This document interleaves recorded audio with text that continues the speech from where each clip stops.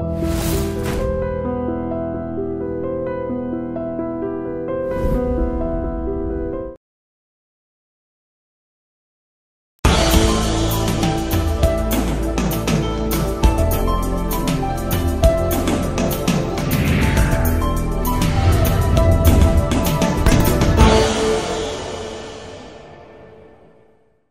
కుటుంబ నేపథ్యం నుంచా లేక మీ విద్యా నేపథ్యం నుంచా? ఎక్కడి నుంచి మీకు ఈ రకమైన అభిరుచి వచ్చింది? నేను సాహిత్య రంగంలోకి రావడానికి కారణం ఏమిటి అని అంటే కుటుంబం పెద్దది కావటం అందుకని మా నాన్నగారు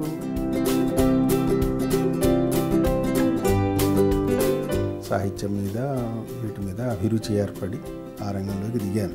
ఓరియంటల్ కళాశాలలు దాదాపుగా మృగ్యమైపోయాయి. ఉన్నవి కూడా సరిగ్గా పనిచేయడం లేదు.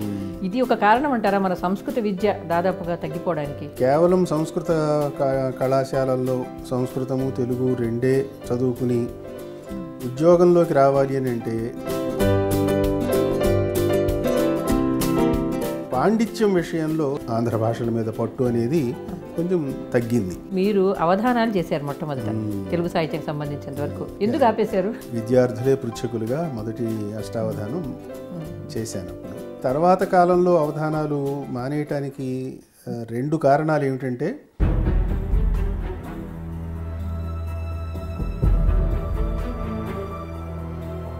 అవధానం వల్ల నష్టం. నష్టం ఇది.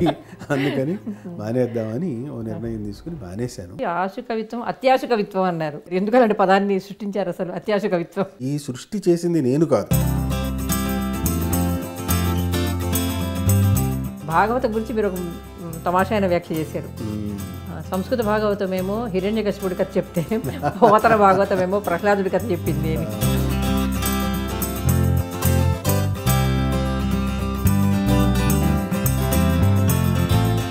అంచేత నువ్వు ఈయన్ని ఇంత సూపర్ భక్తుడిగా చూపించేశారు ఏమిటి అన్నది అక్కడ ఆలోచించవలసిన విషయం. కవిత్వం అనేది మామూలుగా పద్యం అనేది ఆధునిక భావజాలానికి పనికిరాదు అనే దాన్ని పూర్తిగా పరాస్తం చేస్తూ మీరు రాసిన పుస్తకం అది. అది మీరు అంటే కావాలనే ఈ వచన కవిత్వమే చెప్పగలదు అనే దాన్ని ఖండించడానికి చేశారా అంటే మొత్తం భారతీయ భాషల్లో వస్తున్న ఆధునిక కవిత్వాన్ని మనం తెలుగు పద్యంలో హాయిగా చెప్పవచ్చు అనేది అనేది నిరూపించడం కోసం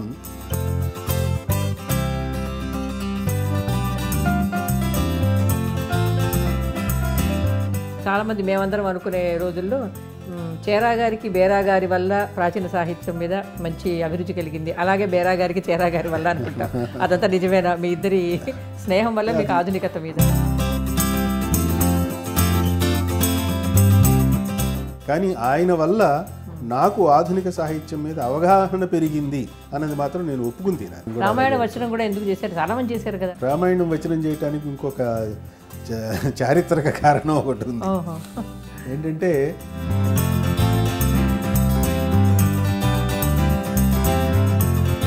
అన్ని కాండలు ఏదో సందర్భంలో ఏదో చెప్పారు. సందర్భంలో బాగుంది. చెప్పేశాను ఇప్పుడు తెలుగు భాషా ఉద్యమకారుల్లో సంస్కృత ద్వేషం కనిపిస్తోంది. దీన్ని మీరు ఎలా చూస్తారు? అచ్చ తెలుగు పదమే వాడితే సంస్కృత పదం వాడినప్పటి అర్థస్ఫూర్తికి దీనికి కొంచెం తేడాలు రావటం ఇలాంటివన్నీ మనకు అనుభవంలో ఎదురవుతున్నాయి. మనం తెలుగు పదాలతోనే కాలక్షేపం చేయగలం అని అనేది సరి అయిన ఆలోచన కాదు అని నేను అనుకుంటాను.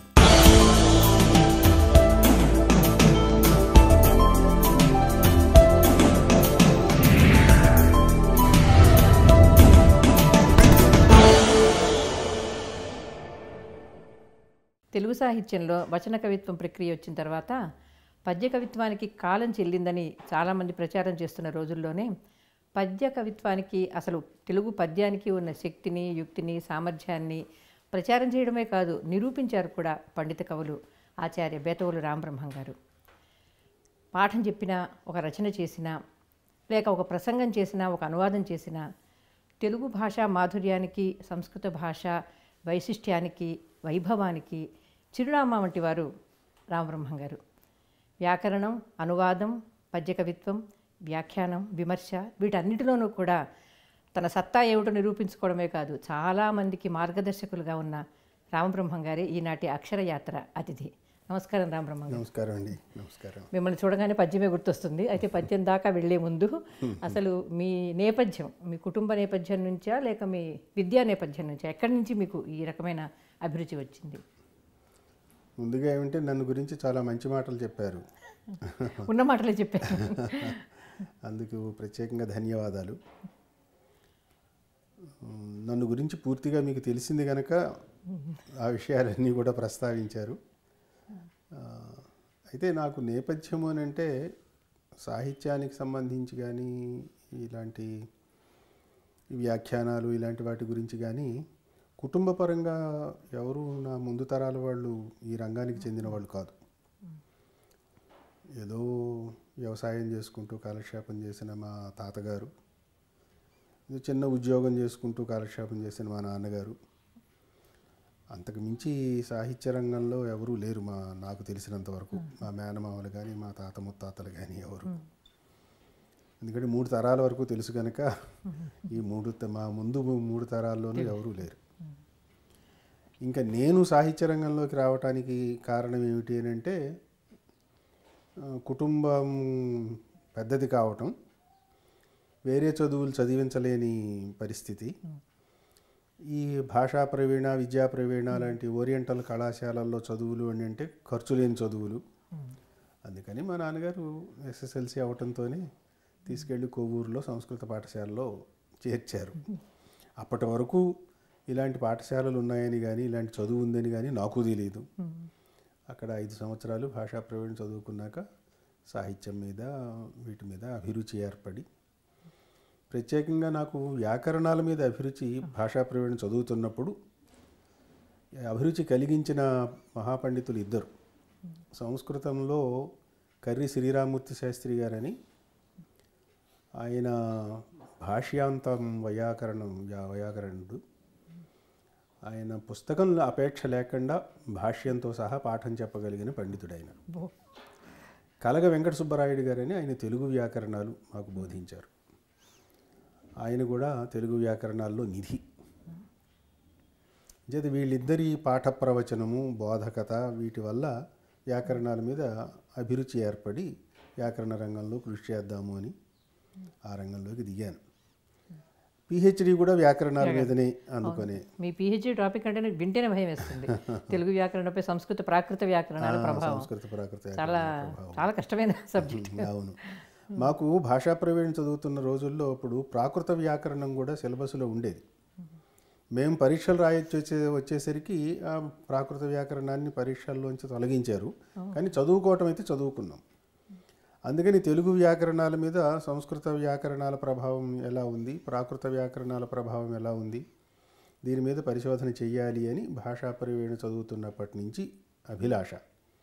అది తర్వాత తెలుగు బిఏ సంస్కృతం తెలుగు ఎంఏ అలాగే సంస్కృతం ఎంఏ ఇవన్నీ ప్రైవేట్గా చదువుకున్న తర్వాత నాగార్జున విశ్వవిద్యాలయంలో దొండప్ప గారి దగ్గరికి వెళ్ళి అయ్యా నేను ఈ అంశం మీద చేయాలనుకుంటున్నాను. నాకు ఏమైనా అవకాశం ఇస్తారా? అంటే ఆయన పాపం మీ అంశం చాలా మంచి బాగుంది. చేయదగిన అంశం. అందుకని మీరు తప్పనిసరిగా చేయండి. సీట్ ఇస్తానని ఇచ్చారు. అలా ఆయన దగ్గర ఈ తెలుగు వ్యాకరణాల మీద సంస్కృత ప్రాకృత వ్యాకరణాల ప్రభావం అనే దాని మీద పిహెచ్డి చేశాను పంతొమ్మిది వందల ఎనభై ఒకటి. అంటే మీరు ప్రాకృతాన్ని వ్యాకరణాలతో ఆపేశారా? లేకపోతే ప్రాకృత సాహిత్యాన్ని చదవడం అవి కూడా మీకు కొంత అంటే వ్యాకరణాలతోనే ఆపేశాము. కానీ ఆ అభి అభిరుచి ఉంది కాబట్టి ఈ సంస్కృత నాటకాలకి వ్యాఖ్యానాలు రాసేటప్పుడు మరి కొన్ని పాత్రలు ప్రాకృతంలో సంభాషణలు జరుగుతాయి. వాటికి అర్థాలు నిర్ణయించాలన్నా శబ్ద స్వరూపం నిర్ణయించాలన్నా నాకు ఆ వ్యాకరణం బాగా ఉపకరించింది. అభి అభిమానం కొద్దీ కొన్ని ప్రాకృత కావ్యాలు గాథా సప్తశతి లాంటివి చదవటం తర్వాత వాటి మీద నా దగ్గర కొందరు పరిశోధన అది చేశారు గాథా సప్తశతి మీద వాటి మీద అలాంటిది కలిగింది. ప్రధానంగా మృచ్ఛకటికంలో విభిన్న ప్రాకృతాలు వాడాడు ఆయన. ఆ. పాత్ర ఏ ప్రాంతానికి చెందిందో ఆ ప్రాంతంలో ఉండే ప్రాకృతాన్ని వాడుకుంటూ వెళ్ళాడు ఆయన. దానికి వ్యాఖ్యానం రాసేటప్పుడు ఈ ప్రాకృత పరిజ్ఞానం నాకు బాగా ఉపయోగపడింది. ఎందుకంటే తెలుగులో ప్రాకృతం చదవగలిగిన వాళ్ళు అర్థం చేసుకోగలిగిన వాళ్ళు తక్కువ కదా. అందుకని మీరు ఉన్నారు ఇంకా చెప్పగలిగిన వాడే అతను అనుమానం వస్తే కూడా. తిరుమల రామచంద్ర గారు కూడా పోయిన తర్వాత ఎవరు లేరు పెద్దగా. అయితే మీరు ఇప్పుడు ఓరియంటల్ కళాశాల ప్రస్తావన తెచ్చారు కాబట్టి ఇప్పుడు మన తెలుగు రెండు ఏ రాష్ట్రం తీసుకున్నా ఓరియంటల్ కళాశాలలు దాదాపుగా మృగ్యమైపోయాయి. ఉన్నవి కూడా సరిగ్గా పనిచేయడం లేదు. ఇది ఒక కారణం అంటారా మన సంస్కృత విద్య దాదాపుగా తగ్గిపోవడానికి. అంటే ఇప్పుడు అన్యోన్యాశ్రయ దోషం అని ఒకటి ఉంది మనకి సంస్కృతంలో. అలాగా ఈ కేవలం సంస్కృత క- కళాశాలల్లో సంస్కృతము తెలుగు రెండే చదువుకుని ఉద్యోగంలోకి రావాలి అని అంటే అతనికి తెలుగు పండితుడుగా తప్ప మరొక ఉద్యోగ అవకాశమే లేదు. అందుకని ఈ ఉద్యోగ అవకాశాలు పెరగాలి అనే దృష్టితోటి ఈ సంస్కృతము తెలుగు రెండే కాకుండా వీళ్ళకి ఏదో చరిత్ర ఆంగ్ల భాష ఇలాంటివి కొన్ని పెట్టి ఈ భాషా ప్రవీణ విద్యా ప్రవీణ అనేటువంటి వాటిల్ని బిఏఓఎల్ అని మార్చారు. మార్చటంతో కొంచెం చదువుకోవటానికి వచ్చే విద్యార్థుల సంఖ్య పెరిగింది కానీ కానీ పాండిత్యం విషయంలో సంస్కృత ప్రాకృతాల మీద పట్టు అనే సంస్కృత ఆంధ్ర భాషల మీద పట్టు అనేది కొంచెం తగ్గింది. ఆ తర్వాత ఇంకా కాలం మారుతున్న కొద్దీ సమాజంలో అభిరుచులు మారాయి అవసరాలు మారాయి పైగా సంస్కృతాన్ని ఇప్పుడు ఎంఏలో ఇంగ్లీష్లోనో తెలుగులోనో చదువుతారు కదా. సంస్కృతాన్ని సంస్కృతంలో చదవడం లేదు. లేదు. ఓరియంటల్ కాలేజీల్లో మాత్రమే ఇది ఉండేది. సంస్కృతం అంటే సంస్కృతంలోనే చదవాలి సంస్కృతంలోనే రాయాలి. ఎంఏల దగ్గరికి వచ్చేసరికి సంస్కృతం ఎంఏ ఏ ఏ భాషలోనైనా రాయొచ్చు. ఇప్పుడు తెలుగులో కూడా రాయనిస్తున్నారు. ఒకప్పుడు సంస్కృతం ఎంఏలో ఏదో ఒక పేపర్లో ఒక ప్రశ్న అయినా తప్పనిసరిగా సంస్కృతంలో రాయాలి అని ఒక నియమం ఉండేది. ఇప్పుడు అది కూడా సడలించారు. అంచేతను సంస్కృతాన్ని గురించి తెలుస్తుంది తప్ప సంస్కృతం వాళ్ళకి రాదు అని ఒక సంస్కృతం గురించి మళ్ళీ తర్వాత ఇంకొంచెం చర్చ చేద్దాం. ముందు మీరు అవధానాలు చేశారు మొట్టమొదట తెలుగు సాహిత్యం సంబంధించినంత వరకు. దాదాపు రెండు వందల వరకు చేసినట్టున్నారు. అష్టావధానం శతావధానం కూడా చేశారు. లేదు శతావధానం అష్టావధానాలే. అష్టావధానాల వరకు ఎందుకు ఆపేశారు? దానికి అంటే బలమైన కారణం ఏమీ లేదు కానీ ఒకటి మాత్రం గమనించాను. నేను గమనించాను మా గురువులు గమనించారు. నేను భాషా ప్రవీణ చదువుకుంటున్న రోజుల్లో రావూరి వెంకటేశ్వర్లు గారు మా గురువు గారు సంస్కృత తెలుగు సాహిత్యం బోధించిన గురువు గారు లక్ష్మణ యతీంద్రులు అప్పట్లో లక్ష్మణ దాసు గారు. ఆయన కూడా మా గురువు గారు సంస్కృత తెలుగు సాహిత్యం నేర్పిన గురువులు ఇద్దరు నేను అవధానాల్లోకి రావటానికి ప్రేరణ రావూరి వెంకటేశ్వర్లు గారు. వారు అవధానాలు చేస్తుంటే చూసి వారి దగ్గర కిటికలు అవి తెలుసుకుని నేను అవధాన రంగంలోకి వచ్చాను. భాషా ప్రవీణ చదువుతుండగానే పంతొమ్మిది వందల అరవై ఏడులో మొట్టమొదటిసారి అష్టావధానం చేశాను. విద్యార్థి గణపతి నవరాత్రులలో. చిన్న వయసులోనే చేశారు. విద్యార్థులే పృచ్ఛకులుగా విద్యార్థులే పృచ్ఛకులుగా మొదటి అష్టావధానం చేశాను అప్పుడు. అది తర్వాత కాలంలో అవధానాలు మానేయటానికి రెండు కారణాలు ఏమిటంటే మాకు లక్ష్మణదాసు గారు అవధానాలు వద్దయ్యా అవధానాలలో పడిపోతే సుష్టుగా కూర్చుని పద్యం రాయటం అనేది తగ్గిపోతుంది. ఆశువుగా పద్యాన్ని లూజ్ ప్యాకింగ్ అంటుండేవారు ఆయన. అంచేతను గణాలు ఎత్తులు సరిపెట్టడమే ధోరణిగా పద్యం ప్రారంభించిన దగ్గర నుంచి ముగించడం వరకు వేగంగా వెళ్ళిపోవాలి అనేది అలవాటు అయిపోతుంది అంచేత పట్టుగా పద్యం రాసే ఇది పోతుంది అందుకని మానేయటం మంచిది అని వారు నన్ను కొంచెం డిస్కరేజ్ చేస్తూ వచ్చారు అది నాకు అనిపించింది దీంట్లో నేను ఎదుర్కొన్న ఇబ్బంది ఏమిటంటే కూర్చుని రాస్తే లూజ్ ప్యాకింగ్ వస్తుందేమో అని కూర్చుని రాసిన పద్యాలు బండరాళ్ళలాగా తయారవటం మొదలయ్యి. ఇది ఎక్కువ శ్రద్ధ. తీసుకోవటం అది ఇదొక రకం ప్రమాదం. ఇంకా ఇంకో కోణం ఏమిటంటే నేను విశ్వవిద్యాలయంలోకి వచ్చాక నాగార్జున విశ్వవిద్యాలయంలోకి ఈ అవధానాల పేరుతో ఏదో సభకి ఎవరో ఒకరు పిలవటం అక్కడికి వెళ్ళటం ఆ అవధాన సభ ఏదో సన్మానం చట్టుబండులు అయిపోయాక ఆ తర్వాత ఎప్పుడో మరో రోజు వచ్చేసి నాకు మీ దగ్గర పిహెచ్డి సీట్ ఇవ్వండాను లేకపోతే ఎంఫిల్ సీట్ ఇవ్వండాను ఇది పెట్టుకుని రావటం. ఇది నేను గమనించాను.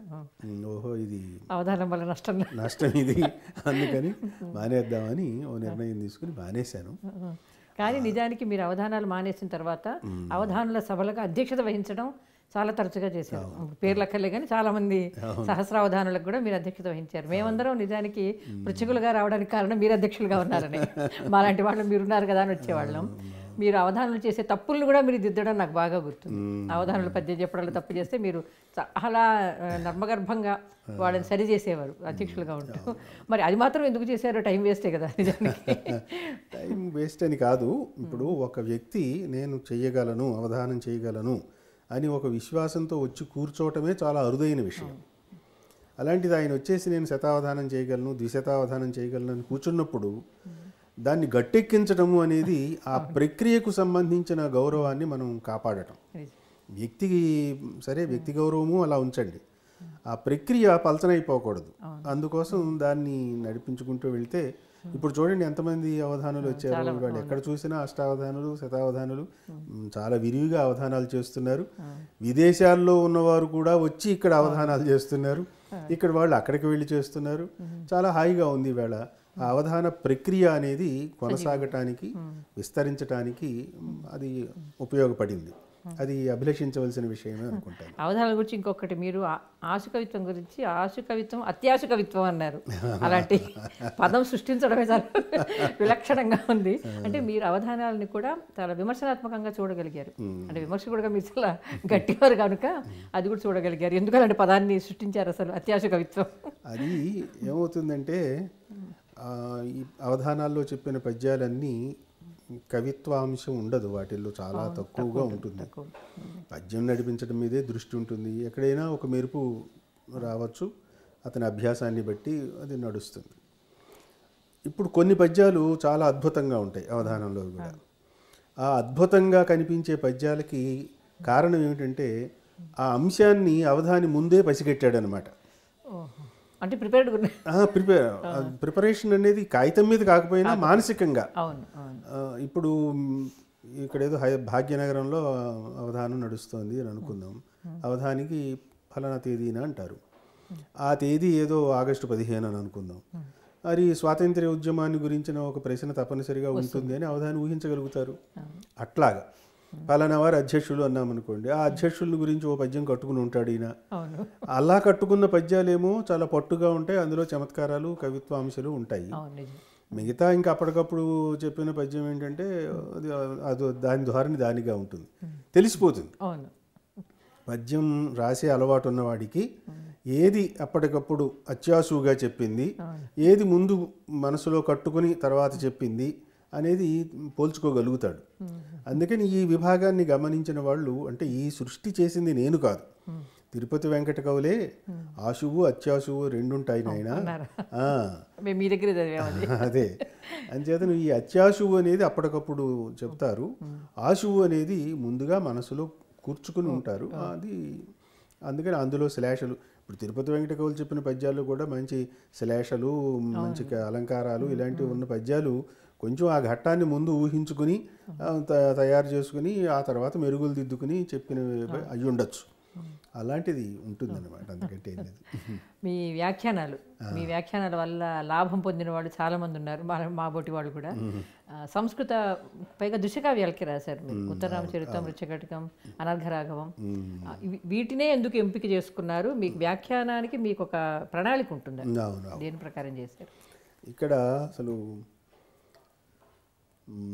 తోమాటి దొణప్ప గారిని తలుచుకోవాలి. నాకు పరిశోధనకి ఆయనే గురువు గారు తర్వాత తెలుగు విశ్వవిద్యాలయానికి ఆయన మొదటి ఉపాధ్యక్షులు వైస్ ఛాన్సలర్. ఆయన హయాంలోనే నేను తెలుగు విశ్వవిద్యాలయానికి రాజమండ్రి సాహిత్య పీఠానికి వచ్చాను. వచ్చినప్పుడు తెలుగు విశ్వవిద్యాలయం ప్రత్యేకంగా చేయదగిన కార్యక్రమాలు ఏమిటి అనేది ఓ రోజుని కూర్చుని ఆలోచిస్తుంటే నేను ఒక ప్రతిపాదన పెట్టాను. వ్యాఖ్యాస్రవంతి అనేది ఒక కార్యక్రమాన్ని చేపడితే బాగుంటుందండి. పద్యకావ్యాలకి వ్యాఖ్యానాలు లేనివి ఉన్నాయి. అలాగే సంస్కృత నాటకాలకి సంస్కృత కావ్యాలకి కూడా తెలుగు వ్యాఖ్యానాలు లేనివి చాలా ఉన్నాయి. ఇప్పుడున్న పండిత తరం గడి వాళ్ళకి ఓపిక ఉన్నప్పుడే మనం చేయించుకోవటం మంచిది. అంచేతను ఓ పది మందిని ఇరవై మందిని మనం గుర్తించి వారికి అప్పగించి ఏదో ఈ తగిన కాల వ్యవధిలో చేయిస్తే బాగుంటుంది. దానికి ఇంత పారితోషికము అది ఇది అని అంటే ఆయన వెంటనే దాన్ని ఆమోదించారు. అదొకటి. అలాగే పరిశోధన విమర్శ సంశోధిత సమీకృత ప్రచురణ అనేది ఒకటి. ఈ రెండు కార్యక్రమాలు దొండప్ప గారి సమయంలో ప్రారంభమయ్యాయి. అంటే పరిశోధన అంటే ఇప్పుడు నన్నయ్య గారి మీద పరిశోధన. ఎవరెవరు చేశారు? వాటి సారాంశాలు. నన్నయ్య గారి మీద విమర్శనాత్మక వ్యాసాలు ఏమేమి వచ్చాయి? ఏ ఏ పత్రికల్లో వచ్చాయి? వాటన్నింటినీ సేకరించారు భారతి ఆ, అలాగా. నన్నయ్య భారతి మూడు సంపుటాలుగా వచ్చింది. ఆ తర్వాత తిక్కన భారతి వెయ్యాలని తర్వాత ఈ ఉద్యమం వ్యావహారిక భాషా ఉద్యమం మీద వచ్చిన వ్యాసాలు వెయ్యాలి ఇలా ఒక ప్రణాళిక పెట్టుకున్నాం. అయితే నన్నయ్య భారతితో ఆగిపోయింది అది తర్వాత సాగలేదు. తిక్కన భారతి కూడా కొంతవరకు సేకరణ జరిగి అయ్యింది ఆ తర్వాత. అది ప్రచురణ కాలేదు అది పూర్తి కాలేదు కూడా. కానీ అసలు పెట్టిన ప్రాజెక్టులు అవి. అందులో వ్యాఖ్యాసరవంతి అనేది సాహిత్యపీఠంకి అప్పగించారు. ఈ సమీకృత ప్రచురణలు కూడా మాకే అప్పగించారు. అక్కడి నుంచి నన్నయ్య భారతిది వచ్చింది. ఈ వ్యాఖ్యా స్రవంతి మాత్రం కొంచెం ముందుకు వెళ్ళింది. ఇందులో తెలుగు పద్య కావ్యాలకి అందరూ పెద్దలతోనూ వ్యాఖ్యానాలు రాయించాం. ఎవరు మన జొన్నలగడ్డ జొన్నలగడ్డ మృత్యుంజయరావు గారు మల్లంపల్లి శరభేశ్వర శర్మ గారు ఇలా పెద్దలందరూ పూ పూనుకున్నారు చేశారు. ఆ తర్వాత అది కొనసాగలేదు ఆగిపోయింది అనుకోండి. అప్పుడు నేను సంస్కృత నాటకాలకి వ్యాఖ్యానాలు అనేది నేను చేపట్టాను. చేపట్టి ఇంతవరకు సంస్కృతం నాటకాలకి తెలుగులో వ్యాఖ్యానం రానివి. వాటితో మొదలు పెడదాము అని మొట్టమొదటి వేణీ సంహారం చేశాం. సంస్కృత నాటకం తెలుగు వ్యాఖ్యానం లేదు. ఆ తర్వాత అనర్ఘరాఘవం ఇట్లా చేసుకుంటూ వచ్చాం. ఆ తర్వాత ఏమైపోయిందంటే ఒకప్పుడు గ్రాంథిక భాషలో ఉన్న వ్యాఖ్యానాలు వాటికన్నా వాడుక తెలుగులోకి వ్యాఖ్యానాలు రాయటం అవసరం కాబట్టి ఇంతకుముందు వ్యాఖ్యానాలు ఉన్నా కూడా వాటికి మళ్ళీ వ్యాఖ్యానం చేస్తే బాగుంటుంది. అనే ప్రతిపాదన రావడంతో ఇదిగో మృత్యుకటికం ఉత్తర రామ ఉత్తర రామ చరితం ఇలాంటివి కూడా నాగానందం వీటన్నింటికి తీసుకుని వ్యాఖ్యానం రాయటం అయ్యింది. అది అంటే వ్యాఖ్యానం రాయడానికి కేవలం ఆ పద్యాల అర్థం శ్లోకాల అర్థం కావడం పెద్ద పెద్ద పెద్ద అర్థం తాత్పర్యం అలంకారం ఇటువంటివే కాకుండా కొంచెం శాస్త్ర పరిజ్ఞానం కూడా ఉండాలంటారు. ఎందుకంటే మీ మృత్యుకటకం చదివితే అనిపిస్తుంది. చాలా రకాల విషయాలు అందులో వస్తాయి. అప్పటి కల్చర్ అప్పటి సంస్కృతి. ఆ సమాజంలో ఉండే సంస్కృతిని కూడా మీరు అందులో ఉల్లేఖిస్తారు అక్కడక్కడ. అంటే వ్యాఖ్యాతకు చాలా పెద్ద బాధ్యత ఉందేమో అనిపించింది మీకు చదివితే. అంటే అంత శ్రద్ధగా చేసే వ్యాఖ్యాతలు ఉండాలి కదా. అవసరం అండి చెయ్యాలి. చెయ్య లేకపోతే కష్టం. ఎందుకంటే ఏ కావ్యానికి పాతకాలం ప్రాచీన కావ్యానికి దేనికి వ్యాఖ్యానం రాయాలన్నా అప్పటి సంస్కృతి అప్పటి చరిత్ర అప్పుడు ఉపయోగపడిన నాణ్యాలు అప్పుడు ఉపయోగపడిన కొల కొలమానాలు వీటన్నింటిని గురించిన పరిజ్ఞానం అవసరం. ఇప్పుడు జోదానికి సంబంధించిన పరిజ్ఞానం అవసరం అవుతుంది అవును. అంచేత ఇలాంటివన్నీ కొంచెం తెలుసుకుని వ్యాఖ్యానం చెయ్యాలి. అయితే అన్నీ ఒక వ్యక్తి ప్రత్యక్షంగా తెలుసుకోలేడు. అంటే దానికి సంబంధించిన ఆకర గ్రంథాలు ఏవో ఉంటాయి అవి ఒకసారి చూసుకుని మనం చేయటమే. గదులు పెట్టిలాగా ఇప్పుడు వంటింట్లో కాసిన ఆవాలు కాసిన మెంతులు కాసిన అవి ఉన్నట్టుగానే ఇది కూడా అంతే. ఇప్పుడు ప్రతిదీ వ్యాఖ్యాతకి సమగ్రంగా తెలవదు. కానీ అవసరమైనంత మేర మే- అంటే ఆ పాఠ్యాన్ని వివరించడానికి ఉంటుంది. రెండవది ఏంటంటే ఈ ఈ నాటకాలకి సంస్కృతంలో వ్యాఖ్యానాలు ఉన్నాయి. ఇప్పుడు అనర్ఘరాఘవానికి మూడు వ్యాఖ్యానాలు ప్రామాణిక వ్యాఖ్యానాలు మైసూరు వారే ముద్రించారు. కలిపి ఒకటి.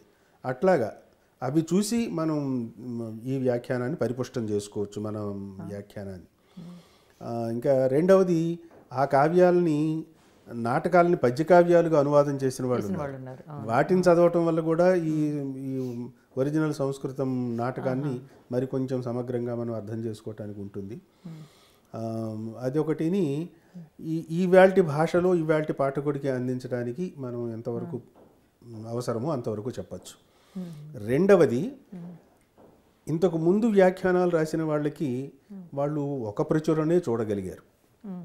ఇప్పుడు ఏదో నిర్ణయ సాగర ప్రెస్ వారు వేశారు ఒక మృత్యుఘటికం అది నాకు అందింది అది దగ్గర పెట్టుకుని నేను వ్యాఖ్యానం రాసేసాను అప్పటికి. అప్పట్లో పరిస్థితి అదే. ఇప్పుడు మా మన దగ్గరికి వచ్చేసరికి ఏమైంది? నాలుగైదు రకాల ప్రచురణలు మనకు అందుబాటులోకి వచ్చాయి. దాంతో ఏమైంది? పాఠ నిర్ణయం చేయటానికి ఇన్ని ప్రచురణలు మనం చూసి ఏది సరి అయిన పాఠము? అని మనకు అనిపిస్తుందో దాన్ని ఎంచుకోవచ్చు. మిగతా వాటిని ఇదిగో దీనికి ఈ పాఠాంతరం ఉంది ఈ పాఠాంతరం ఉంది ఈ పాఠాంతరానికి ఇది అర్థం అని మనం కింద అధసూచికలోనన్నా ఇవ్వచ్చు లేదా వ్యాఖ్యానంలోనైనా విశేషాంశములు అని పేరు పెట్టి అదైనా ఇవ్వచ్చు. ఆ ఆ అడ్వాంటేజ్ ఒకటి మ్, ఇప్పుడు వ్యాఖ్యానం రాసేవారికి ఉంటుంది. అది నేను బాగా ఉపయోగించుకున్నాను. మీరు అన్నారు కూడా అసలు ఇంకా కూడా కొత్త వ్యాఖ్యానాలు రావచ్చు ఇప్పటికే నేను రాసిన వాటి మీద అనే మాట అన్నారు. కానీ వేరు వేరు భావజాలాలు వాళ్ళు వ్యాఖ్యానం చేయడం మొదలు పెడితే ఒక అంటే టెక్స్ట్కి న్యాయం చేసే వ్యాఖ్యానం ఒకటి ఉంటే సరిపోదా?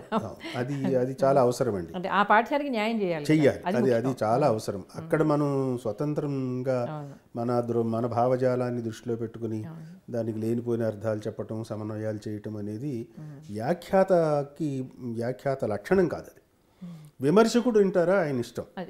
ఇప్పుడు నేను వ్యాఖ్యానం రాస్తున్నంతసేపు ఆ, ఆ టెక్స్ట్కి ఒబీడియంట్గా ఆ పట్టాల మీద నడుచుకుంటూ వెళ్ళాలి. దీన్ని బట్టి నేను విమర్శ రాయదలుచుకున్నాను అనుకోండి అప్పుడు అది వేరే విషయం. అంచేతను అవి రెండు వేరు వేరు ప్రక్రియ వేరు వేరు అదే. మీరు దృశ్య కావ్యాలనే ఎందుకు చేశారు? అంటే ఇప్పుడు సంస్కృతంలో చాలా శ్రవ్య కావ్యాలు ఉన్నాయి కదా. వాటికి కూడా వ్యాఖ్యానం అవసరమే కదా. అందుకని అవేవి మీరు ప్రయత్నించలేదు ఎందుకో ప్రయత్నం చేయలేదు. నాకు ఎందుకో ముందు నుంచి వ్యాఖ్యానం లేనివి పట్టుకోవాలి. అందులో దృశ్య కావ్యాలకి చాలా తక్కువ వాటికి వచ్చాయి వ్యాఖ్యానాలు. మనకి తెలిసినంత వరకు సంస్కృతంలో ఉన్న నాటకాలకి తెలుగు వ్యాఖ్యానాలు ఉన్నవి మూడో నాలుగో ఉన్నాయి అంతే. ఏది మన ఉత్తర రామ ఉత్తర రామచరితం ఒకటి అభిజ్ఞాన శాకుంతలం ఒకటి ముద్రా రాక్షసం ఒకటి. ఇలా వీటికి నాలుగో ఐదో ఉన్నాయి. అంతకు మించి మిగతా వాటికి వ్యాఖ్యానాలు లేవు. కావ్యాలకైతే ఉన్నాయి. రఘువంశానికి వ్యాఖ్యానాలు ఉన్నాయి. అది మేఘ సందేశానికి ఉన్నాయి. మాఘానికి ఉన్నాయి. ఇలాంటివి ఉన్నాయి. అందుకని ఎందుకో అనిపించింది. ఇది మొదలుపెట్టాను. కానీ ఇప్పటి తెలుగు విద్యార్థుల పరంగా చూస్తే సంస్కృతానికే కా తెలుగు కావ్యాలకు కూడా వ్యాఖ్యానం అవసరమే.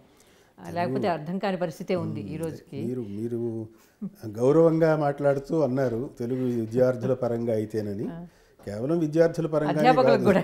నా ఉద్దేశం అధ్యాపకులే. నిజానికి అధ్యాపకులు పాఠం చెప్పాలంటే. తిరుమల తిరుపతి దేవస్థానం వాళ్ళు భారతము భాగవతము ఇచ్చారు కాబట్టి పాఠం చెప్పడం సులభం అవుతుంది ఆ రెండిటికి. అదేవిధంగా అన్ని కావ్యాలకి వస్తే బాగుంటుందేమో అనే పరిస్థితి ఉంది అవసరమేనండి అవసరమే. ఇప్పుడు మనుచరిత్ర లాంటి వాటికి ప్రాచీన వ్యాఖ్యానాలు ఉన్నాయి. వెంపరాల సూర్యనారాయణ శాస్త్రి గారి వ్యాఖ్యానం ఉంది. మను వశ్చరిత్రకు ఉంది. ఇట్లాంటివి ఉన్నాయి. ఈవేళ ఆ వ్యాఖ్యానాలు చదివి పద్యాన్ని అర్థం చేసుకుని పాఠం చెప్పటము అనేది కూడా కష్టమైపోతుంది ఇవాళ పరిస్థితుల్లో. నేను కొందరిని గమనిస్తున్నాను. ఆముక్తమాల్యద ఆముక్త మాలిదకు ఉంది. ఆ, వ్యాఖ్యాన ఆముక్తమాలిద వ్యాఖ్యానానికి మళ్ళీ ఇంకో వ్యాఖ్యానం ఎవరైనా చెప్పాల్సిన పరిస్థితి. అది. అందుకని కొంచెం వాటికి కూడా నేనేమనుకుంటున్నానంటే ఇప్పుడు మీరు ఆ ప్రస్తావన తెచ్చారు కాబట్టి ఇప్పటికే వ్యాఖ్యానాలు ఉన్న ప్రాచీన కావ్యాలలో కూడా ఇవాల్టి విద్యార్థి అవసరాన్ని దృష్టిలో పెట్టుకుని ఆ బరువు తగ్గించి ఇప్పుడు ఆముక్తమాల్యద వ్యాఖ్యానం ఉందనుకోండి ఏది వస్తే అది అక్కడ సమగ్రంగా దాని గురించి చెప్పేయటం ఒక పద్యానికి పదిహేను పేజీలు వ్యాఖ్యానం. అదేమో గ్రాంధిక భాషలో ఉండటం సంస్కృత శ్లోకాలని శాస్త్రాల్లోంచి వాటిలోంచి వీటిలోంచి అన్నింటినీ అందించటం అవసరం లేని వ్యాఖ్య వ్యాకరణాంశాలు కూడా అక్కడ చెప్పటం. ఓ అలంకారం గురించి మాట్లాడవయ్యా అంటే మొత్తం అలంకార శాస్త్రంలో ఆ అలంకారానికి సంబంధించిన చర్చ అంతా అక్కడ పెట్టడం ఇంత చేదస్తం ఇవాళ చదువుకునే ఓపిక లేదు అంత అవసరం కూడా లేదు. అందుకని ఈ బరువంతా వదిలించేసి సూటిగా ఆ పద్యంలో ఉండే హృదయం ఏమిటి? కవితా హృదయం ఏమిటి అనేదాన్ని ఇవాళ వాడుక భాషలో అందించి కఠిన పదాలకు అర్థాలు లాంటివి అక్కడక్కడ ఇచ్చుకుంటూ వెళ్ళిపోతే బాగుంటుంది. నేను అందుకనే పాఠకమిత్ర అని ఆ- పద్ధతి అదే అడుగుదాం. తర్వాత ప్రశ్న అదే మీ పాఠక మిత్ర అనే ఇదే బాగుంది. ఉపశీర్షిక చాలా బాగుంది దానికి. అదే. పాఠక మిత్రం అని. పాఠకమిత్ర అని. ఎందుకంటే ఇప్పుడు యూసేజ్లో చూడండి ఏదో యూజర్స్ ఫ్రెండ్లీ. ఇలాంటివి వస్తుంటాయి కదా. అది అలాంటిది దృష్టిలో పెట్టుకుని రీడర్స్ ఫ్రెండ్లీ. పాఠకమిత్ర అనే వ్యాఖ్యానం బాగుంటుంది అనిపించింది. అది ఒక పెద్ద ప్రాజెక్ట్ కింద మీరు చేశారు. చేశాను. దీనికి కూడా నేను ముందుగా కృతజ్ఞతలు ధన్యవాదాలు ఎవరికి చెప్పాలంటే మధునాపంతుల సత్యనారాయణ శాస్త్రి గారికి చెప్పాలి. నేను రాజమండ్రిలో పనిచేస్తున్నప్పుడు మధునాపంతుల వారితో చాలా సన్నిహితంగా ఉండేవాడు ఆ, సభలు సాహిత్య సభలకి వాటికి వీటికి వెళ్తుండేవాళ్ళం. ప్రసంగం అయిపోయిన తర్వాత ఈ శ్రోతల్లో నుంచి కనీసం పది పదిహేను మంది వారి చుట్టూ నా చుట్టూ చేరి ఈవేళ మాకు మనుచరిత్ర చదువుకుందామంటే అర్థమయ్యే వ్యాఖ్యానం లేదండి. ఇదో ఆ కవి నన్నయ్య గొప్పదనం తెలుసుకుందామంటే లేదండి అది ఇది అని అంటూ ఉంటే ఓ రోజుని సత్య సత్యనారాయణ శాస్త్రి గారు అన్నారు. ఇదేదో మనం కొంచెం తీర్చవలసిన అంశంలా కనపడుతోంది అబ్బాయి అని. అంటే చేయాల్సిన అంశం ఉందండి. కానీ వాళ్ళు అన్నట్టుగా వ్యాఖ్యానాలు రాయటం మొదలు పెడితే మళ్ళీ పెద్ద పెద్ద గ్రంథాలు అవుతాయి. అలా కాకుండా ఓ రసవద్ఘట్టం తీసుకుని దాన్ని వివరిస్తూ అలా ఒక్కొక్క కవిని పరిచయం చేసినా ఒక్కొక్క కావ్యాన్ని పరిచయం చేసినా బాగుంటుందేమో అనిపిస్తోంది అని అంటే ఆయన ఆమోదించారు దాన్ని. అలా చెయ్యండి అన్నారు.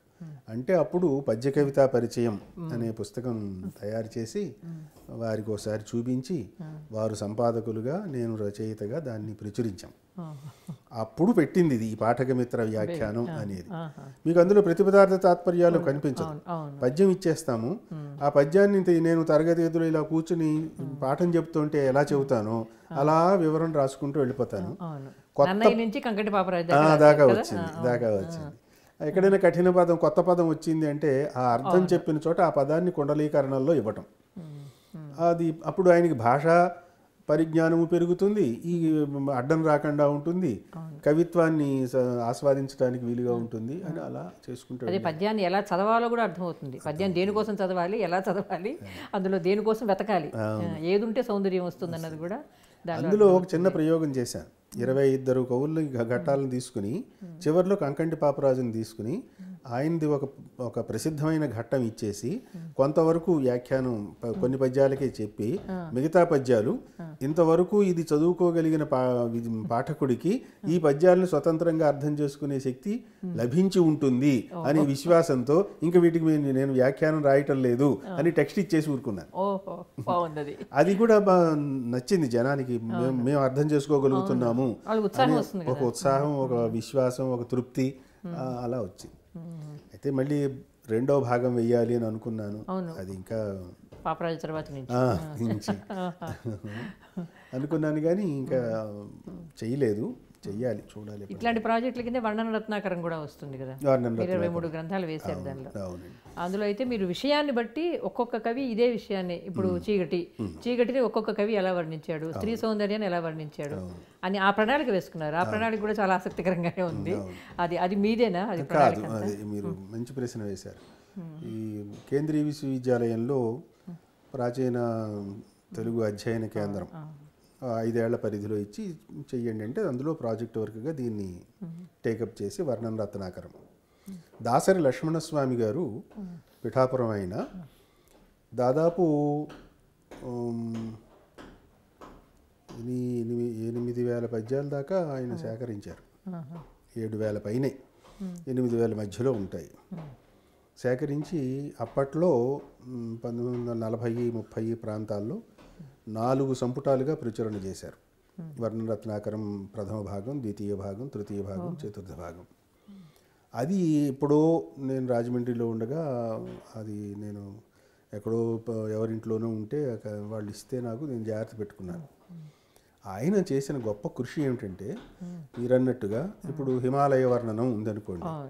నాన్న ఈ దగ్గర నుంచి మొదలుపెట్టి పంతొమ్మిదవ శతాబ్దం వరకు ఉన్న ఆయన ఒక హద్దు పెట్టుకున్నారు పంతొమ్మిది వందల ముప్పై ఆ ప్రాంతం దాకా పంతొమ్మిది వందల శతాబ్దం దాకా. అంతవరకు ఉన్న కవుల్లో ఎవరు హిమాలయాల్ని గురించి వర్ణించినా వాళ్ళందరిలో నుంచి ఒక్కొక్క పద్యం రెండేసి పద్యాలు తీసుకుని ఒక ఒక చోట పెట్టాడు. చాలా బాగుంది. వసంత ఋతు వర్ణన ఏ కవి ఏమేమి చేశాడు ఓ ఓ దగ్గర పెట్టారు. అట్లాగా ఆయన థీమేటికల్గా యాంథాలజీని సేకరించాడు. ఇంచుమించు ఎనిమిది వేల పద్యాల సంకలనం అది. వర్ణన రత్నాకరం అని పేరు పెట్టినందుకు గాను ఇంకా అందులో మీకు దొరకని వర్ణన అంటూ ఉండదు. అంతగా పల్లెటూళ్ళలో ఇళ్ళు ఎలా ఉంటాయి గృహ వర్ణనం ఎట్లా ఉండేది ఇదో రైతు కుటుంబం గృహం ఎలా ఉండేది ఇంకో వ్యాపారస్తుడి కుటుంబంలో ఆ- ఆ వాడి గృహ వర్ణన ఎట్లా ఉంటుంది ఎలా చేశారు వీటన్నింటినీ సేకరించి గొప్ప కృషి చేశాడు ఆయన. మహానుభావుడు. ప్రాతస్మరణీయుడు ఆయన దాసరి లక్ష్మణస్వామి నాయుడు గారని. అది దాన్ని వ్యాఖ్యానంతో ప్రచురిస్తే ఇవాళకి మొత్తం తెలుగు సాహిత్యంలో ఉన్న ప్రతి కవిని పరిచయం చేసినట్టు అవుతుంది. ప్రతి కావ్యాన్ని పరిచయం చేసినట్టు అవుతుంది. అనిపించి దాన్ని ఆ కమిటీలో పెడితే వెంటనే ఒప్పుకున్నారు ఇది చెయ్యండి అన్నారు. ఒక్కడి వల్ల అవుతుందా ఇది? ఆ ఇచ్చిన వ్యవధి అంతా చేసి ఐదేళ్ళు ఒక ఏడాది అప్పటికి ఈ అనుమతులన్నీ అయ్యేసరికి గడిచిపోయింది. అందుకని అప్పుడు పది మంది పండితుల్ని సంప్రదించి అయ్యా మీరు ఇదిగో ఈ ఈ వర్ణనాంశం తీసుకుని మీరు వ్యాఖ్యానం రాయండి మీరు రాయండి. ఇదిగో వ్యాఖ్యానానికి ఉండవలసిన ప- నియమాలు ఇవి. ప్రతిపదార్థ తాత్పర్యం కాదు. పద్యాన్ని మీరు ఇలా ఎక్స్ప్లెయిన్ చెయ్యండి కఠినమైన పదాలు వచ్చినప్పుడు మొ- బ్ర- కుండలీకరణంలో ఇవ్వండి. విశేషాంశాలు ఉంటే చెప్పండి. ఇట్లాగా. వాడుక తెలుగులోనే ఉండాలి. ఇలాంటివన్నీ ఒక ఇచ్చి ఒక నమూనా నేను కొన్ని ఒక ఇరవై పద్యాలకి రాసి అది జిరాక్స్ తీసి వాళ్ళందరికీ పంపించి దీని ప్రకారం ఇది వజ్జబంతిగా మీరు దీన్ని ఇంప్రూవ్ చేసుకుని మీరు స్వతంత్రంగా రాయండి అని అడిగాను. కొందరు స్పందించారు కొందరు చేయలేదు కొందరు చేశారు. మొత్తం మీద ఒక ముప్పై మంది కలిసి దాన్ని చేశాము. అందరూ తలో ఒక వంద పద్యాలు తలో ఒక యాభై పద్యాలు ఒక్కొక్క వర్ణనాంశం తీసుకుని చేశారు. మేజర్గా దాదాపు మూడు వేల పద్యాల దాకా నేనే వ్యాఖ్యానం రాశాను. ఒక రెండు వేల పద్యాలు పైకి అద్దంకి శ్రీనివాస్ గారు రాశారు. మిగతా పండితులందరూ నారాల రామరెడ్డి గారు అందరూ అందరూ తలో తలో దీనివల్ల ఇంకొక లాభం కూడా ఉందండి. కవులను తులనాత్మకంగా పరిశీలించడానికి అధ్యయనం చేయడానికి రీసెర్చ్ కూడా పనికి ఆ, చాలా. చాలా ఉపయోగకరమైన పుస్తకాలు ఇది వచ్చిన తర్వాత మా కేంద్రీయ విశ్వవిద్యాలయంలోనే హిస్టరీ డిపార్ట్మెంట్లో సోషియాలజీ డిపార్ట్మెంట్లో పరిశోధనలు చేస్తున్న విద్యార్థులు మేము ఫలానా వృత్తిని వృత్తి విషయంగా మేము చేయదలుచుకున్నాము. దానికి సంబంధించి మీ వర్ణన రత్నాకరంలో ఏమైనా ఉన్నాయా? అని మమ్మల్ని అడగటం వాటిని మేము వాళ్ళకి ఇవ్వటం వాళ్ళు వాటిని ఏదో కళ్ళకద్దుకుని అబ్బా ఇంత గొప్ప విషయాలు సాహిత్యంలో ఉన్నాయా? ఉపయోగపడింది. అది చాలా సంతృప్తినిచ్చిన. చాలా మంచి ప్రయోగం అది సహకరించిన పండితులందరినీ ప్రతి కానీ విని ఎరగని కావ్యాలు ఉన్నాయి అందులో? భానుమతి విజయం అనే కావ్యం ఉన్నట్టు నాకు తెలియదు. ఈ పుస్తకం చూసే వరకు. అసలు అటువంటి కావ్యాలు ఉన్నాయని అటువంటి కవులు ఉన్నారని కూడా తెలియదు. తెలియదు. అలాంటివి చాలా బయటకు వచ్చినట్టే వెలుగులోకి వచ్చినట్టు అయింది ఆ పుస్తకం వల్ల. అందరు పండితులు బులుసు వెంకటేశ్వర్లు గారు అందరూ సహకరించారు. అందరూ. దానికి యూజీసీ ప్రాజెక్ట్ వర్క్ కాబట్టి ఏదో తగిన రీతిలో కాస్త పారితోషికం అది కూడా ఇచ్చి చేశాము. వాళ్ళు ప్రచురణ పొందే ఇరవై మూడు సంపుటాలు ప్రచురణ పొందటం అనేది చాలా గొప్ప విషయం. అది బాగుంది నిలిచిపోయే పని బాగా నిలిచిపోయే పని. ఇక విమర్శకుడిగా మీరు. మీరు సరే వ్యాసాలు చాలా రాశారు కానీ మీరు చెప్పిన కొత్త కొన్ని కొత్త అంశాలు మాత్రమే నేను అలా ఎందుకన్నారని అడగదలుచుకున్నా. ముందు నన్నయ్య నన్నయ్య రా నానా రుచిరార్థ సూక్తి నిధిత్వంలో అందరూ అక్కడ సూక్తికి చెప్పిన అర్థం విశ్వనాథ సత్యనారాయణ దగ్గర నుంచి అందరూ చెప్పిన అర్థం మీరు చెప్పిన అర్థం వేరుగా ఉన్నాయి. మీరు సూక్తిని ఒక ఉపదేశం నీతిలాగా మీరు గ్రహించలేదు. అది అది మీకు ఎందుకు వచ్చిన ఆలోచన? అసలు అది బాగుంది చాలా మౌలికంగా ఉంది అది ఆలోచన. నాకు నాకు చాలా తృప్తినిచ్చిన వ్యాసాల్లో అది కూడా ఒకటి. ఎందుకంటే ఇప్పుడు కవిత్వానికి లక్షణాలు చెప్పవయ్యా అంటే నీతి వాక్యాలు పేర్చడం ఒక కవితా గుణంగా ఏనాడు ఎవరు చెప్పలేదు.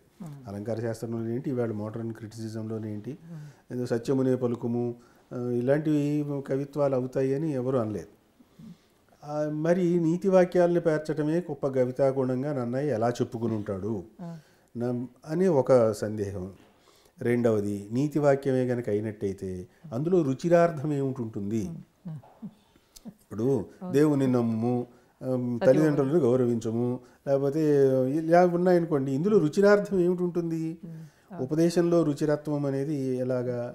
అంటే ఈయన నానా రుచిరార్థ సూక్తి నిధిని అని చెబుతున్నాడు అని అంటే ఇదేదో కొంచెం ఆలోచించవలసిన విషయం అని మొదట్లో అనుకున్నాను. ఆ తర్వాత దీన్ని అందిపుచ్చుకుని తర్వాత తమ కవితా గుణాలను చెప్పుకుంటూ వెళ్ళిన ప్రాచీన కవులు ఉన్నారే. వాళ్ళు ఈ సూక్తి అనే పదానికి పర్యాయ పదాలతోటి వాడటం మొదలుపెట్టారు. చతురోక్తి నిధి. పెద్దన పెద్దన గారి దగ్గరికి వచ్చేసరికల్లా చతుర వచోనిధివి అన్నాడు. ఈ చతుర అనేదేమో నానా రుచిర అనేదానికి సూక్తి అనేదానికేమో వచ వచస్ అనేది నిధి అనేది నిధి మళ్ళీ పెట్టుకున్నాడు చతుర వచో నిధి. అంటే నానా రుచిరార్థ సూక్తి నిధి అని ఆయన చెప్పింది ఈయన చతుర వచో నిధి అని ఈయన దగ్గరికి వచ్చేసరికి మారింది. అలాగే పాండురంగ మహాత్యం దగ్గరికి వచ్చేసరికి ఇంకోలాగా అదే మారింది. నిధి పదం మాత్రం వదలటం లేదు వీళ్ళు. ఇది గమనించాక ఓహో ఇది కేవలం నీతి వాక్యం కాదు అని నాకు అనిపించింది. తర్వాత అలంకార శాస్త్ర గ్రంథంలో ఎక్కడైనా సూక్తి అనే మాట వాడితే నీతి వాక్యం అనే అర్థంలో వాడలేదు వాడు. సూక్తి అంటే అలంకారము అనే అలం- అలంకార. సహితమైన మాట. శబ్దాలంకార సహితమైనదైనా సూక్తి కావచ్చు అర్థాలంకార సహితమైనదైనా సూక్తి కావచ్చు. అప్పుడు సూక్తి అనేదానికి నిఘంటువులో ఆరోపమే లేదు. అక్కడ ఎక్కడ ఒక మాట కనపడదు. ఎందుకంటే అది సమాసం. సమాసం. సు ఉక్తి సు అంటే అందము. ఆ అందం అనేది శబ్దానికి సంబంధించిన అందం అయితే శబ్దాలంకారం. అర్థానికి సంబంధించిన అర్థమే అందం అయితే అర్థాలంకారం అంచేత నానా రుచిర అర్ధ సూక్తి నిధి అన్నాడంటే అర్ధాలంకారాలకు నిధిని అని చెప్పుకున్నాడు అని నాకు ఆవేళ అది స్ఫురణ కలిగింది. ఆ తర్వాత సూక్తులైన అయినట్టయితే వ్యాసుడి దగ్గర ఉన్నవే కదా ఈయన చెప్పిన సూక్తులని నన్నయ్య గారు ఏమీ కాదు కదా. ఇవి అలంకారాల దగ్గరికి వచ్చేసరికి వ్యాసుడు ఊరికి అలా సూచనగా చెప్తే దాన్ని విస్తరించిన అలంకారాలు అవి ఈయన దగ్గర ఉన్నాయి. అందుకని అట్లాగా సమన్వయం చేశాము.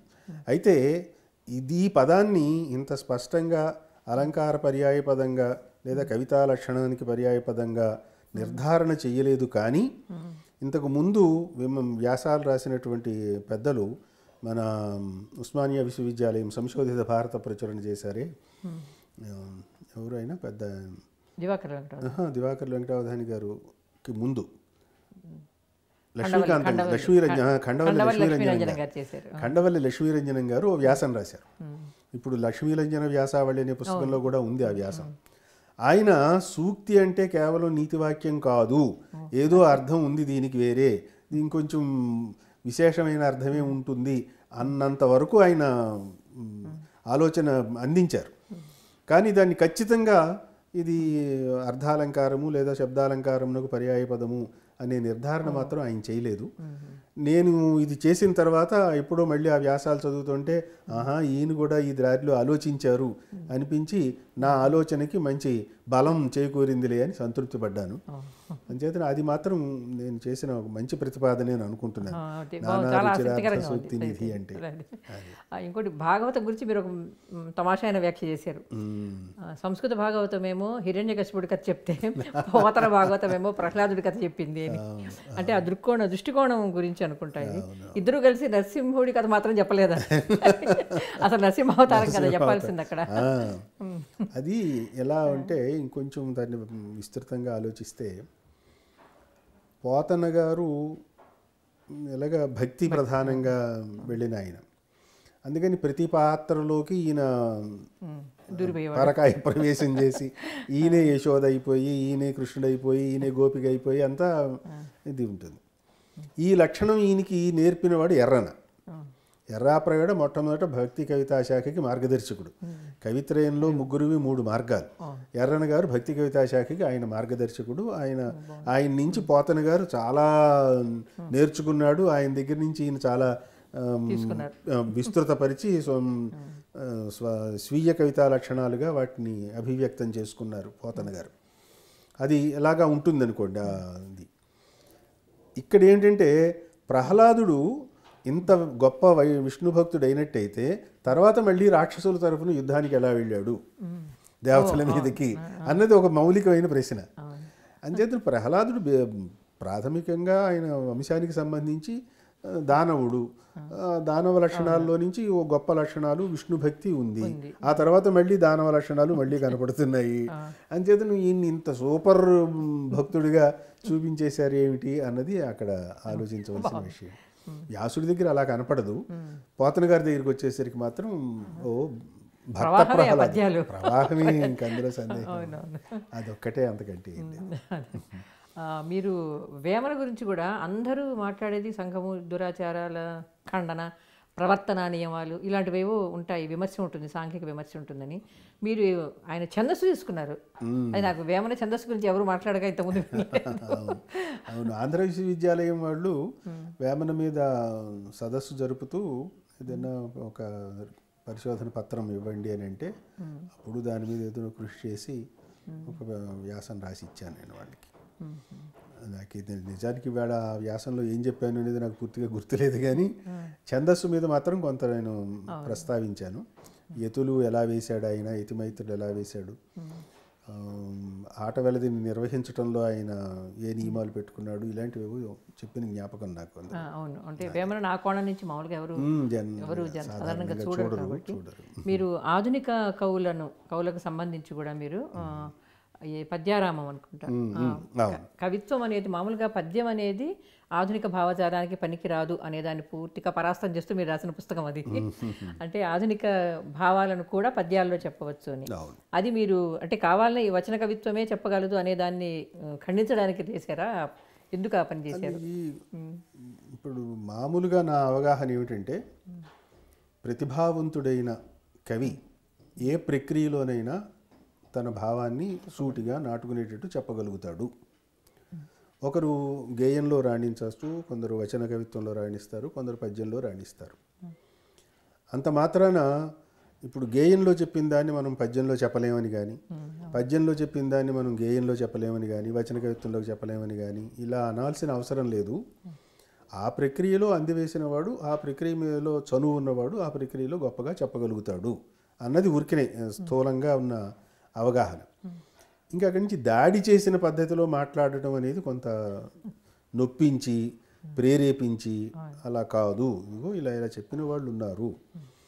అందుకని సా సామాజికంగా ఒక్కొక్క కాలంలో ఒక్కొక్క ప్రక్రియ పది మందికి నచ్చుతుంది. ఎక్కువ మంది దాంట్లో కృషి చేసేవాళ్ళు ఉంటారు. అంత మాత్రాన అదొక్కటే ప్రధాన ప్రక్రియ అనటానికి వీల్లేదు. అన్ని ప్రక్రియలు ఏ ఏ కాలంలోనైనా సమాంతరంగా నడుస్తూనే ఉంటాయి అన్నదానికోసం చెప్పాను. ఆధునిక కాలంలో పద్యకావ్యాలు రాస్తున్న వాళ్ళలో శతకాలు రాస్తున్న వాళ్ళలో ఖండికలు రాస్తున్న వాళ్ళలో ఎక్కడెక్కడ సామాజిక అంశాలను గురించి ప్రస్తావించారు? ఎందుకంటే విప్లవోద్యమాన్ని గురించి కూడా పద్యకావ్యాల్లో పద్య గ్రంథాల్లో శతకాల్లోనూ అక్కడ ప్రస్తావించిన వారు ఉన్నారు. చేత అవి కూడా మనం గమనించాలి అనే కోణంలోంచి పద్య కవితా పరిచయం. అనేది అదే పద్యారామం. పద్యారామం. అనే శీర్షికతోటి ఆంధ్ర భూమిలో కొన్ని వారాల పాటు దాన్ని నిర్వహించి పరిచయం చేశాను. ఇది కాక నేను చేసిన ఇంకొక సొంతంగా చేసింది ఏంటంటే ఇండియన్ లిటరేచరు సాహిత్య అకాడమీ వాళ్ళది ఉంది కదా ఇంగ్లీష్లో వస్తూ ఉంటుంది. వాళ్ళు అన్ని భాషల్లోనూ వస్తున్న కవిత్వాన్ని ఇంగ్లీష్లోకి ట్రాన్స్లేట్ చేసి చేయించి చాలా మంచి అదే, అదే. దాన్ని నేను పద్యంలోకి చేశాను.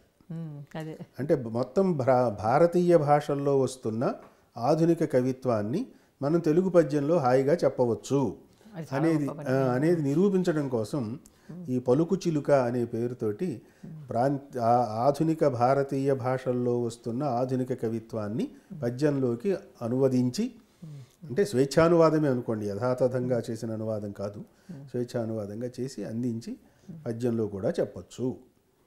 అయితే అందులో చెప్పినంత బలంగా ఇందులో చెప్పగలమా? అంటే అనువాదం అనేసరికి కొంచెం వెనక్కి జరుగుతాం. అది కూడా ఓ భాషలో నుంచి ఆంగ్లంలోకి వచ్చి ఆంగ్లంలో నుంచి తెలుగులోకి వస్తే ఇంకొంచెం జరుగుతాం. కానీ కవి గుండెను మాత్రం మనం అందించగలుగుతాము. అందించగలము అనే దానికోసం రాసింది అంతకంటే లేదు. అది అవునన్నవారు ఉన్నారు కాదన్నవారు ఉన్నారు. నేను చేసిన పొరపాట్లు ఉన్నాయి అందులో. ఎందుకంటే ఆంగ్ల భాషలో ఉన్నదాన్ని అర్థం చేసుకోవటంలోనూ కొన్ని పొరపాట్లు ఉన్నాయి. మరి ఆ అనువాదం అనువాదం సరైనదో కాదో కూడా అది కూడా మనం జడ్జి చేయలేము. చేయలేము. ఆ. భాష మనకి రాదు. కాశ్మీరీలో ఉన్నది మనం ఎలా చదవగలం మలయాళంలో ఉన్నది ఎలా చేయగలుగుతాం? అందుకంటే. అది మీరు పద్యాన్ని ఎంతగా మీరు ఒక రకంగా ప్రమోట్ చేయడం కాదు దాన్ని అన్ని రకాలుగా ఎన్ని రకాలుగా వాడుకోవచ్చు దాని విస్తృతిని బాగా చెప్పగలిగారు అన్నిట్లోనూ కూడా. కానీ మీరు ఏ రోజు కూడా ఆధునిక భావజాలాన్ని వచన కవిత్వాన్ని మీరు కించపరచలేదు స్వాగతించారు. మీకు ఆ సంయమనం. ఎక్కడి నుంచి వచ్చింది? అదే నేను అనేదండి. ఇప్పుడు మీరు ఒక ప్రక్రియలో బ్రహ్మాండంగా రాస్తారు. నేను ఒక ప్రక్రియలో రాస్తాను. నాదే గొప్ప ప్రక్రియ అని మీది పనికిరాదు అని నేను అనక్కర్లేదు. ఇప్పుడు వచన కవులు పద్యాన్ని అలా అంటారు అది అది నేను అనేది ఇప్పుడు నాదే గొప్ప ప్రక్రియ అన్నంత వరకు నో ప్రాబ్లం అనండి. ఓ బ్రహ్మాండం నవలలు కథలు ఇవే చాలా గొప్ప సాహిత్య ప్రక్రియలు అని మీరు అన్నారు అనండి ఓకే. కానీ పద్యం పనికిరాదు లేకపోతే గేయం పనికిరాదు అనటం అది కొంచెం ఓవర్ యాక్షన్. అది అనవసరం అది అనవసరం. అక్కడ ఇబ్బంది వచ్చింది. అది కాదు ఇందులో కూడా చెప్పచ్చును. చెప్పిన వాళ్ళు ఉన్నారు. ఎప్పటికప్పుడు ఆధునికం అవుతూనే ఉంది ఇప్పుడు భాష ఆధునికం అవుతోంది భావము ఆధునికం అవుతోంది మరి కేవలం ఛందస్సు ఒకటి ఆధునికం అవ్వటం లేదు అని చెప్పేసి నువ్వు పెట్టుకోవటానికి వీల్లేదు. కానీ గణాలు అవే అయినా పద్యాన్ని నడిపించే తీరులో ఆధునికత అనేది కనపడుతూనే ఉంటుంది. ఇది గమనించాలి అని మీరు నిజానికి మొట్టమొదటి స్త్రీవాద కవయిత్రి కూడా పద్య కవిత్వమే రాశారని చెప్పారు మీరు. మీ మంచి వ్యాసం ఉంది దాని మీద మీది. మీకు బహుశా మే చాలా మంది మేమందరం అనుకునే రోజుల్లో మ్, చేరా గారికి బేరా గారి వల్ల ప్రాచీన సాహిత్యం మీద మంచి అభిరుచి కలిగింది. అలాగే బేరా గారికి చేరా గారి వల్ల అనుకుంటాం. అదంతా నిజమేనా? మీ ఇద్దరి స్నేహం వల్ల మీకు ఆధునికత మీద. నిజమే నిజమేనండి. అంటే నా వల్ల చేరా గారికి ప్రాచీన సాహిత్యం మీద అభిరుచి కలిగింది అనేది వాస్తవం కాదు. ఆయనకి ముందే. ఆయనకి భావకవిత్వం అంటే చాలా ప్రాణం. అందులోనూ నాయన సుబ్బారావు గారు అంటే ఇంకా ఇంకా ఇష్టం ఆయనకి. ఎన్ని పద్యాలు వచ్చునో ఆయనకి నోటికి. అంచేత నా వల్ల ఆయనకి ప్రాచీన కవిత్వం మీద సంప్రదాయ కావ్య సాహిత్యం మీద అభిమానం పెరిగింది అనేది వాస్తవం కాదు. కానీ ఆయన వల్ల నాకు ఆధునిక సాహిత్యం మీద అవగాహన పెరిగింది అన్నది మాత్రం నేను ఒప్పుకుని తీరాలి. ఒప్పుకుని తీరాలి. ఆయన లెఫ్టిస్ట్ ఐడియాలజీకి సంబంధించిన అనేక విషయాలు చర్చల్లో మాటల్లో సందర్భాల్లో నాకు చెప్పటం వల్ల నేను లబ్ధి పొందాను. అదొక్కటే కాదు నేను నాగార్జున విశ్వవిద్యాలయంలో పనిచేస్తున్నప్పుడు మా దగ్గర రీసెర్చ్ కోసం ఈ faculty improvement programme FIP programme కింద రామ్మోహన్ రాయ్ గారు దొణప గారి దగ్గర పిహెచ్డికి చేరారు. ఆయన సెలవు పెట్టుకుని వచ్చి రెండు సంవత్సరాలు ఫ్యాకల్టీ డిపార్ట్మెంట్కి వచ్చారు. నా గదిలోనే కూర్చునేవారు ఆయన. ఫ్యాకల్టీగా నాకు ఒక రూమ్ ఇచ్చారు. ఆ రూమ్లో ఖాళీ ఉంటే రండి మీరు కూడా కూర్చుంది ఇక్కడ ఏదో అని. ఆయనతో చర్చల వల్ల నాకు ఆధునిక సాహిత్యం మీద అభిమానము పెరిగింది. కాస్త కోస్త అవ- అవగాహన చేసుకోవటానికి కావాల్సిన టూల్స్ నాకు కొంచెం చేతికి అబ్బాయి. అంచేత వీరిద్దరి వల్ల నేను లబ్ధి పొందాను. మోడర్న్ లిటరేచర్ని అర్థం చేసుకోవటానికి దాన్ని చేసుకో అయితే ద్వేషం ఏనాడు లేదు. అవును అదే అంటున్నా. ద్వేషం చాలా. ముఖ్యం నేను గుంటూరు ఓరియంటల్ కాలేజీలో ఉంటున్నప్పుడే ఈ అభ్యుదయ రచయితల సంఘం మిత్రుల ప్రోత్సాహంతో ఒక ఒకటి రెండు వచన కవిత్వాలు అప్పట్లో రాశాను. కానీ అది నా వల్ల కాదు అని నేను ఇంకా విరమించుకున్నాను. పద్యం అయిపోతుందేమో వచనం మొదలు పెట్టిన ఆహా, పది- అలాగే అయిపోతుంది. సమాసాలు వాటితో వచ్చేస్తూ ఉంటుంది అది. మాలాంటి వాళ్ళ పద్యం రాయాలని చూస్తే వచనం అయిపోతుంది. మీకు అటు తిరిగి అవుతుంది. సింఘోర్ అని సెనగల్ ప్రెసిడెంట్ లియోపార్డ్ సింఘోర్. ఈ ఆయన ఈ బ్లాక్ పోయిటరీ అంటారు కదా అందులో చాలా గొప్ప కవిత్వం రాసిన వాడు ఆయన. ఆయన రాజకీయ నాయకుడైన ఒక దేశానికి అధ్యక్షుడైన కవిగా కూడా చాలా గొప్పవాడు. ఆయన రాసిన కవిత్వాన్ని ఇంగ్లీష్లో చదివి దాన్ని నేను తెలుగు వచన కవిత్వంగా చేయటానికి కొంత ప్రయత్నం చేశా. ఆహా. కానీ అది నా వల్ల కాదు అని నాకు తెలిసిపోయింది. ఎందుకంటే అన్నీ అందరూ చేయలేరు. అది తెలుసుకోవటం చాలా అవసరం. పద్యం నేను ఏదో రాయగలుగుతాను కదా అని నేను పాటలు రాస్తానని సిద్ధపడకూడదు. పాటలు రాస్తాను కదా అని చెప్పేసి నేను ఇంకోటి ఎందుకు రాయలేనని కూర్చో పాటలు కూడా రాశారు. దాని దగ్గరకు వస్తాను. ముందు మీ అనువాదాలు. మీకు అనువాదానికే కేంద్ర సాహిత్య అకాడమీ బహుమతి కూడా వచ్చింది మీకు పురస్కారం కూడా. పలుకు చిలుక కాకుండా మీరు వేరే అనువాదాలు కూడా చేశారు కదా. ముఖ్యంగా మీ దేవి భాగవతం. దేవి భాగవతం ఇష్టపడని వాళ్ళే చదవని వాళ్ళు లేరు. మీ దేవి భాగవతాన్ని. దాన్ని మీరు ఏ ప్రణాళికలో చేశారు? దానికి అవార్డు వచ్చిందనే కాదు అసలు నిజంగానే అది అందరం పారాయణం లాగా చదువుకోగలిగిన పారాయణం చేసుకునేవాళ్ళు అలాగే చదువుకునే గ్రంథం అది. కూడా నాకు ప్రతిరోజు ఇద్దరు ముగ్గురు ఫోన్లు చేస్తారు. చదివామండి అదండి ఇదండి మాకు చాలా ఆనందంగా ఉంది అది ఇది. సరే అది అందరికీ నచ్చింది. అయితే దానికి కారణం ఏమిటంటే అంతకుముందు దేవీ భాగవతం పద్యకావ్యంగా చేసిన వాళ్ళు ఉన్నారు. తిరుపతి వెంకట కవులు చేశారు పాప ములుగు పాపయారాధ్యుల వారు చేశారు. ఇంకా ఒకరిద్దరు చేసిన వారు ఉన్నారు. అలాగే వచనంలోకి చేసిన వారు ఉన్నారు. అవి ఇవి కూడా చూశాను నేను. చూసి ఈవేళ నా నా పాఠకులకు ఎవరు నా టార్గెట్ రీడర్స్ ఎవరు అనే దృష్టిలో పెట్టుకొని వాళ్ళకి అర్థం కాని పదం అనేది ఉండకూడదు ఇందులో. అలా అని పోబో నీళ్ళకు పల్చనయ్య అన్నట్టుగాను కాకూడదు. అలాగే మూలం సంస్కృతం చదువుకోలేకపోతున్నాము అనే అసంతృప్తి పాఠకులకు కలగకూడదు. ఇవి మూడు నేను లక్షణాలుగా పెట్టుకున్నాను. పెట్టుకుని చక్కటి మామూలు వాడుక తెలుగులో రాసుకుంటూ వెళ్ళి ఎక్కడ అవసరమైతే అక్కడల్లా ఆ శ్లోకం కూడా ఇచ్చి ఆ శ్లోక భావాన్ని ముందు ఇచ్చేసి శ్లోకం కూడా ఇవ్వటం. ఎందుకంటే కొన్ని ఈ స్తోత్రాలు లాంటివి ఉన్నాయనుకోండి వాటిని సంస్కృతంలో చదివితేనే పుణ్యం అనే ఒక విశ్వాసం ఉంటుంది. దాని భావం నేను తెలుగులో రాస్తాను అని అంటే పారాయణ చేసిన తృప్తి కలగదు. అంచేత అది కూడా దృష్టిలో పెట్టుకుని ఒరిజినల్ టెక్స్ట్లో నుంచి ఆ శ్లోకాలన్నీ ఇస్తూ ఏదీ విడిచిపెట్టకుండా అందరికీ అర్థమయ్యేటట్టుగా దాన్ని చేసిన మూలాన్ని అందరికీ నచ్చింది. ఓ ఎన్ని ఎడిషన్స్ అన్నా అది వెళ్తూనే ఉంది అలాగా. ఎవరికైనా ఇస్తే వెనక్కి రాదు కూడా. అది వెళ్తోంది. అలాగే రామాయణం కూడా. చేసిన రామాయణం కూడా రామాయణ వచనం కూడా ఎందుకు చేశారు? చాలా మంది చేశారు కదా రామాయణ చేశారు. రామాయణం వచనం చేయటానికి ఇంకొక చారిత్రక కారణం ఒకటి ఉంది. ఏంటంటే మీకు కనుమలూరి వెంకట శివయ్య గారి పేరు వినుంటారు. ఆయన సాహిత్య సభలు జరుపుతుండేవారు. ఆయన ఒక్కొక్క పట్టణంలో ఒక్కో సంవత్సరం ఒక్కొక్క చోట రామాయణ ఉత్సవాలు జరిపేవారు జరిపి ఒక్కొక్క కాండ మీద ఒక్కొక్కరితో ప్రసంగం. దానికి నియమం ఏంటంటే వాల్మీకి కట్టుబడి ఉండాలి. అవాల్మీకమైన విషయాలు చెప్పొద్దు. వాల్మీకి ఏం చెప్పాడు? బాలకాండలో ఏం చెప్పాడు? మీరు ఓ రోజు ప్రసంగం. రెండు గంటలు తీసుకోండి మూడు గంటలు తీసుకోండి. ఆ రోజు బాలకాండ మీద మీ ప్రసంగం. ఇంకో చోట ఎక్కడో ఇంకో చోట జరుగుతుంది. ఇక్కడ మీరు యుద్ధకాండ గురించి మాట్లాడండి. అలా ఒక్కొక్కరికి ఒక్కొక్క కాండ అలా మార్చుకుంటూ ఇచ్చారు ఆయన. అలా చెప్పటం మొదలుపెట్టినప్పుడు నేను ఊరికే గాలికి పోతుంది ఎందుకు ఇంత శ్రమ పడుతున్నాం కదా అని వాటిని అన్నింటినీ కాగితం మీద పెట్టాను. అలాగా బాలకాండ చెప్పినప్పుడు బాలకాండ మీద అనువాదం తయారయ్యింది. యుద్ధకాండ చెప్పినప్పుడు అన్ని యుద్ధకాండ- కాండలు ఏదో సందర్భంలో చెప్పాను చెప్పేశాను అందుకని అలాగా తయారు చేసుకునేవన్నీ కలిపి కొంచెం వాటిని మళ్ళీ వెనక ముందు సర్దుబాట్లు చేసుకోవాల్సినవి చేసి సమగ్రంగా తయారు తయారు చేసి ఆ పుస్తకంగా ఇచ్చాం ఈవేళ ఎంత పాపులర్ అయ్యిందంటే అది. రామాయణం అనువాదం అనేసరికల్లా ఇదే చదువుతున్నారు. అందులో కూడా నేను ఇదే టెక్నిక్ పెట్టుకున్నా. ఉమ్, వాల్ వాల్మీకి ఇలా చెప్పుంటాడా? అనే సందేహం వస్తుంది. ఆ వచ్చిన చోట ఇదిగో ఇలాగే చెప్పాడు అనడానికి శ్లోకం ఇచ్చేసాను అలాగే మంచి కవిత్వాంశాలు ఉన్నాయి వాల్మీకి. అవి పాఠకులకు అందాలి కాబట్టి అక్కడ శ్లోకం ఇచ్చుకుంటూ వచ్చాను పైగా అప్పట్లో రామానంద సాగర్ గారి రామాయణం ఒకటి టీవీలో ఇంటింటా మారుమోగిపోతోంది. ఎక్కడైనా రామాయణం గురించి మేము ప్రసంగాలు చేయడానికి పెడితే ఇదేంటండి మరి టీవీలో ఇలా వచ్చింది? అలా చూపించారు కదా అంటుండేవారు. అప్పుడు ఓహో అసలు వాల్మీకి ఏం చెప్పాడు అనేది చెప్పవలసిన అవసరం ఏర్పడింది. అని చేత మనం మూలానికి కట్టుబడి ఉండటం అనేది మంచిదేను అని దానికి కమిట్ అయ్యి అవాల్మీకమైన విషయాలు ఏమీ లేకుండా యథాతథంగా వాల్మీకి ఏం చెప్పింది చెప్పినట్టుగా లోకానికి అందించాను. అది అలా వచ్చింది ఆ- పుస్తకం. దాంతో అపార్థాలు లేకుండా పోయాయి. ఇప్పుడు ఆయన ఏం చేశాడంటే రామానంద సాగర్ గారు ఉత్తర భారతదేశంలో ఉన్న రామాయణ ప్రతులు చాలా. చాలా అన్ని అన్ని దేశంలో దొరుకుతున్న అన్ని రామాయణాల్లోనూ ఉండే అన్ని ఘట్టాలు స్క్రీన్కి ఏవి బాగుంటాయని అనిపిస్తే అవల్లా తీసుకొచ్చి అందులో పెట్టేశారు ఆయన.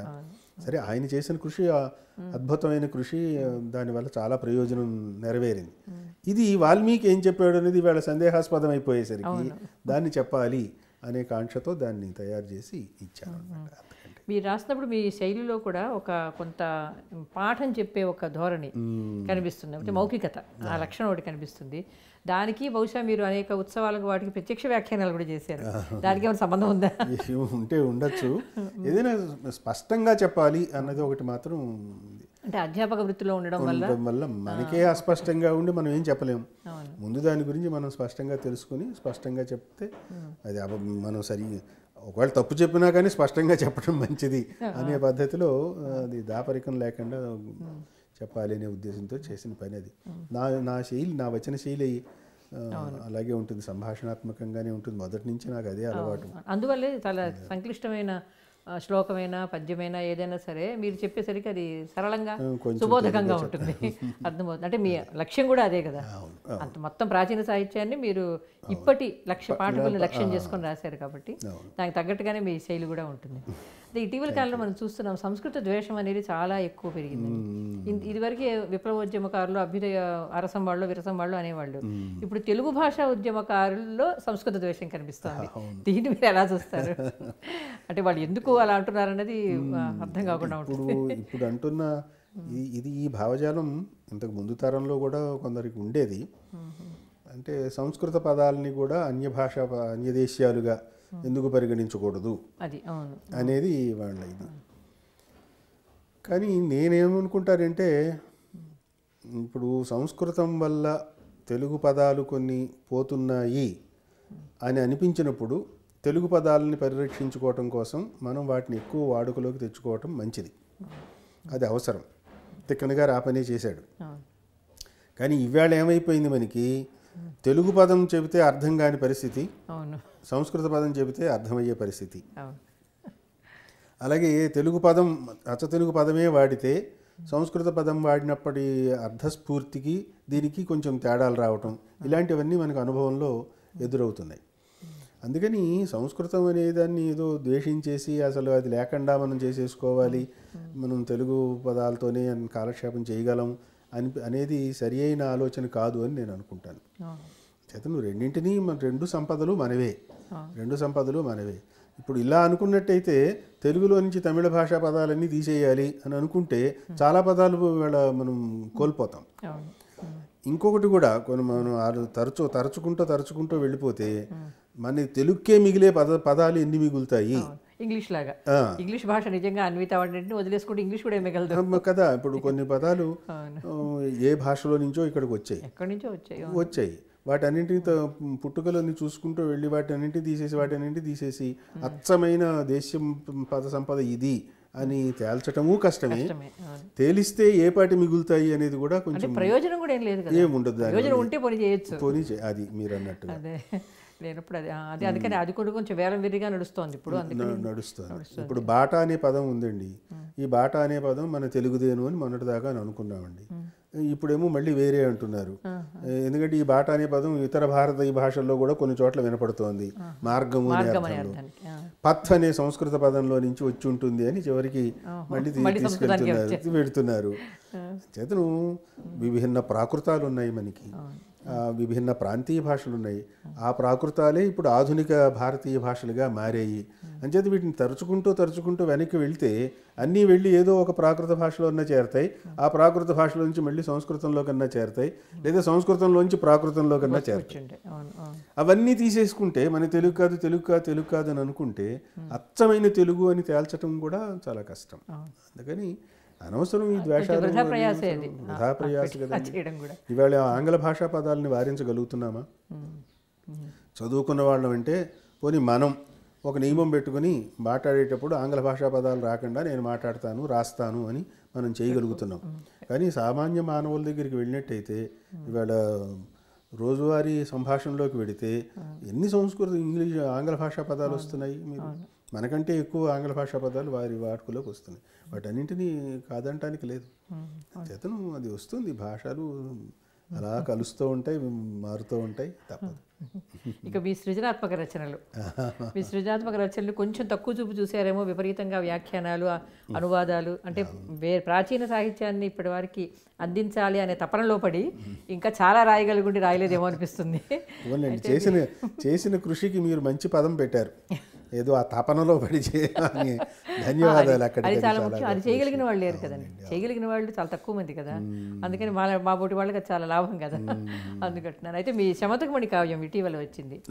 అది నిజానికి శమంతకమణి కథ మనం వినాయక వ్రత కల్పనలో చదువుకోవడం తప్ప దాని గురించి ఎవరికి ఏమీ తెలియదు. అక్కడ ఏమిటంటే జాంబవతిని ఇచ్చేసాడు మడితో పాటుతో అయిపోతుంది. ఏమో పెద్ద వివరణ ఏమీ ఉండదు అందులో. మీకు ఇట్లా అంతా కథ అంతా కల్పించి చివరి దాకా అంత దూరం తీసుకెళ్ళాలని అక్రూరుడితో ముగించారు కదా కథ. ఆ మొత్తం ప్రణాళిక ఎట్లా వేసుకున్నారు? అది ఇది ఈ దీన్ని కావ్యంగా రాయాలని ఎందుకు అనిపించింది? ఇన్ని కథలు ఉండగా.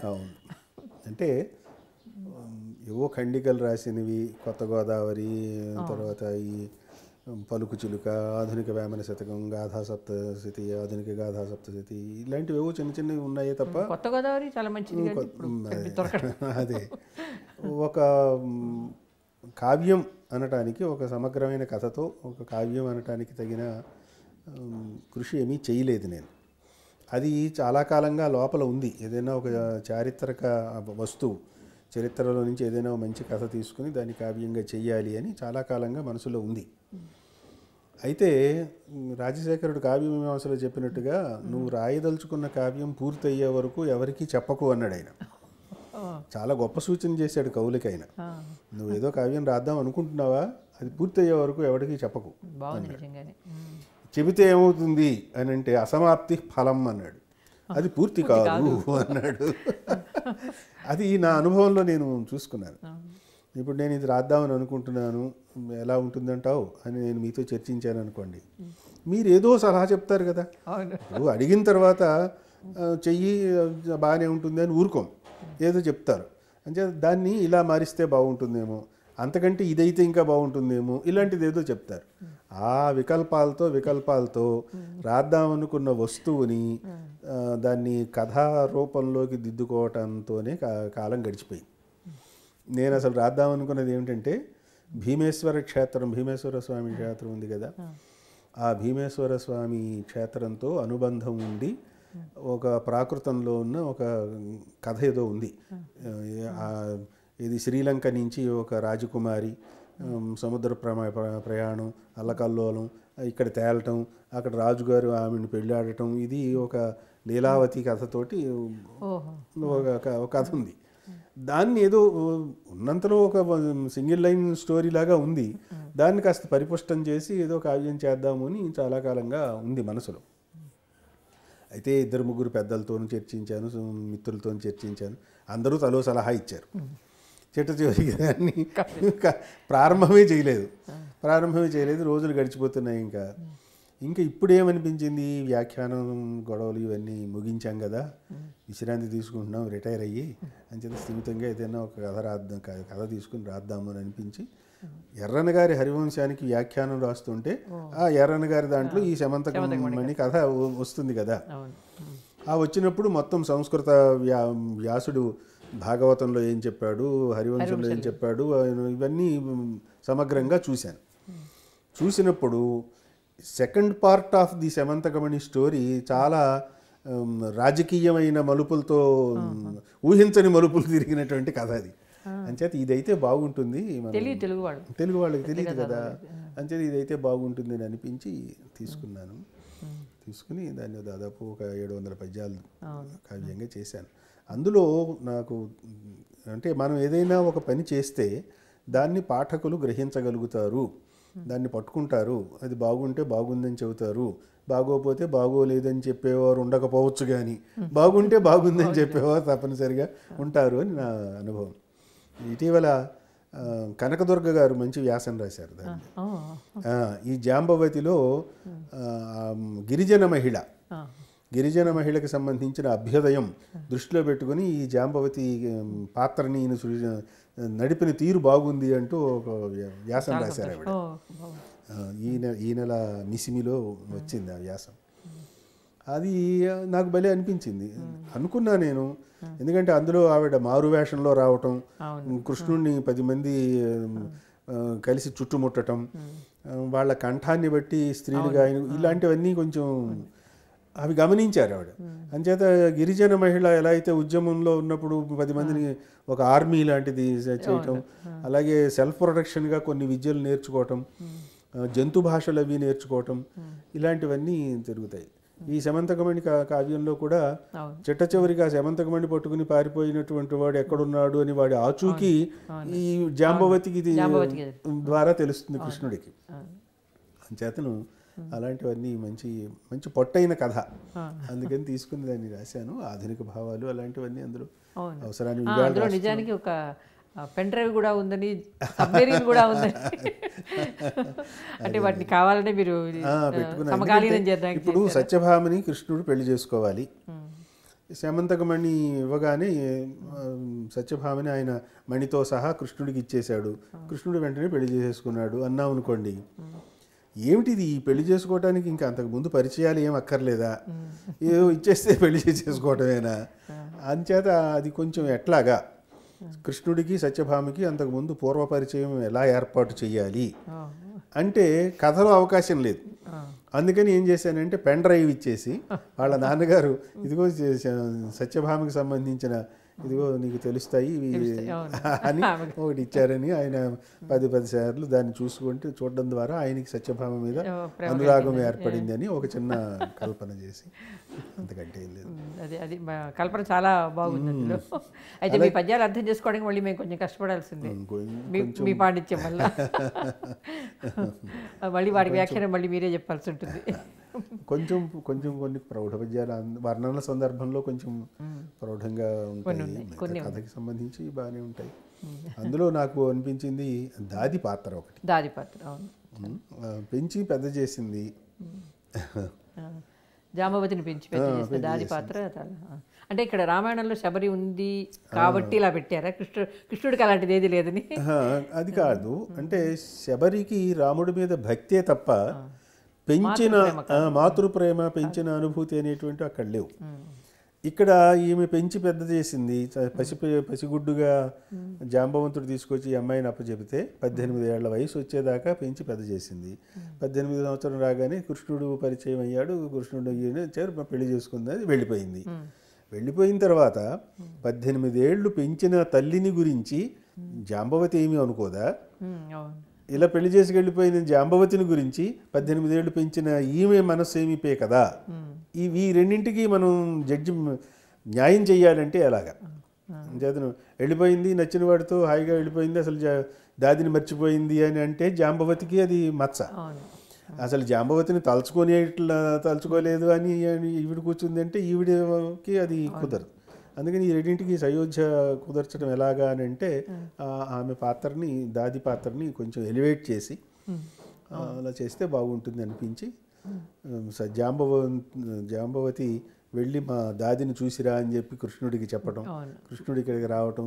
కృష్ణుడిని చూడగానే ఆడపిల్లని పెంచాను తప్ప మగపిల్లాడిని పెంచిన అనుభూతి నాకు లేకపోయింది. అది ఇవ్వవయ్యా అయిపోవటం. ఇలాంటింతా కాస్తంత మంచి కల్పన అదొకటి బాగా నచ్చింది నాకు ఆ ఉమ్. మీరు అలాగే నృత్య సంగీత రూపకాలు కూడా రాశారు. వాటిని రాయడానికి ఏదైనా సౌందర్నందం ఉదాహరణకి. వాటి రాయడానికి ఏమైనా వెనక కథ ఉందా దానికి? అంటే మీరు మామూలుగా అలాంటి ప్రక్రియలు రాసిన వారు కారు. ఏ కారణం వల్ల రాశారు? అంటే అది శాకుంతలం కూడా రాశారు. శాకుంతలం కూడా రాశాను దానికి ప్రత్యేకంగా కారణం ఏంటంటే గుంటూరులో నాగార్జున సాంస్కృతిక కేంద్రం అని ఒకటి ఉంది. వాళ్ళు ఒక సంగీత నృత్య కళాశాలని నడుపుతున్నారు. అక్కడికి విద్యార్థినులు పిల్లలందరూ నేర్చుకోవడానికి అది ఇది వస్తుంటే ప్రతి వార్షికోత్సవానికి ఏదో ఒక ప్రదర్శన చెయ్యాలి. ఇప్పుడు ఈ సంగీతం నేర్చుకునే వారికి కానీ నృత్యం నేర్చుకునే వారికి కానీ ప్రదర్శన అనేసరికల్లా మళ్ళీ ఎంతసేపు ఆ దశావతారాలు స్వామి రారా ఇది రారా ఈ- ఈ- ఈ బాబు- ఇవే అయిపోతున్నాయి. లేదా అన్నమాచార్య కీర్తనలు ఇవే అయిపోతున్నాయి.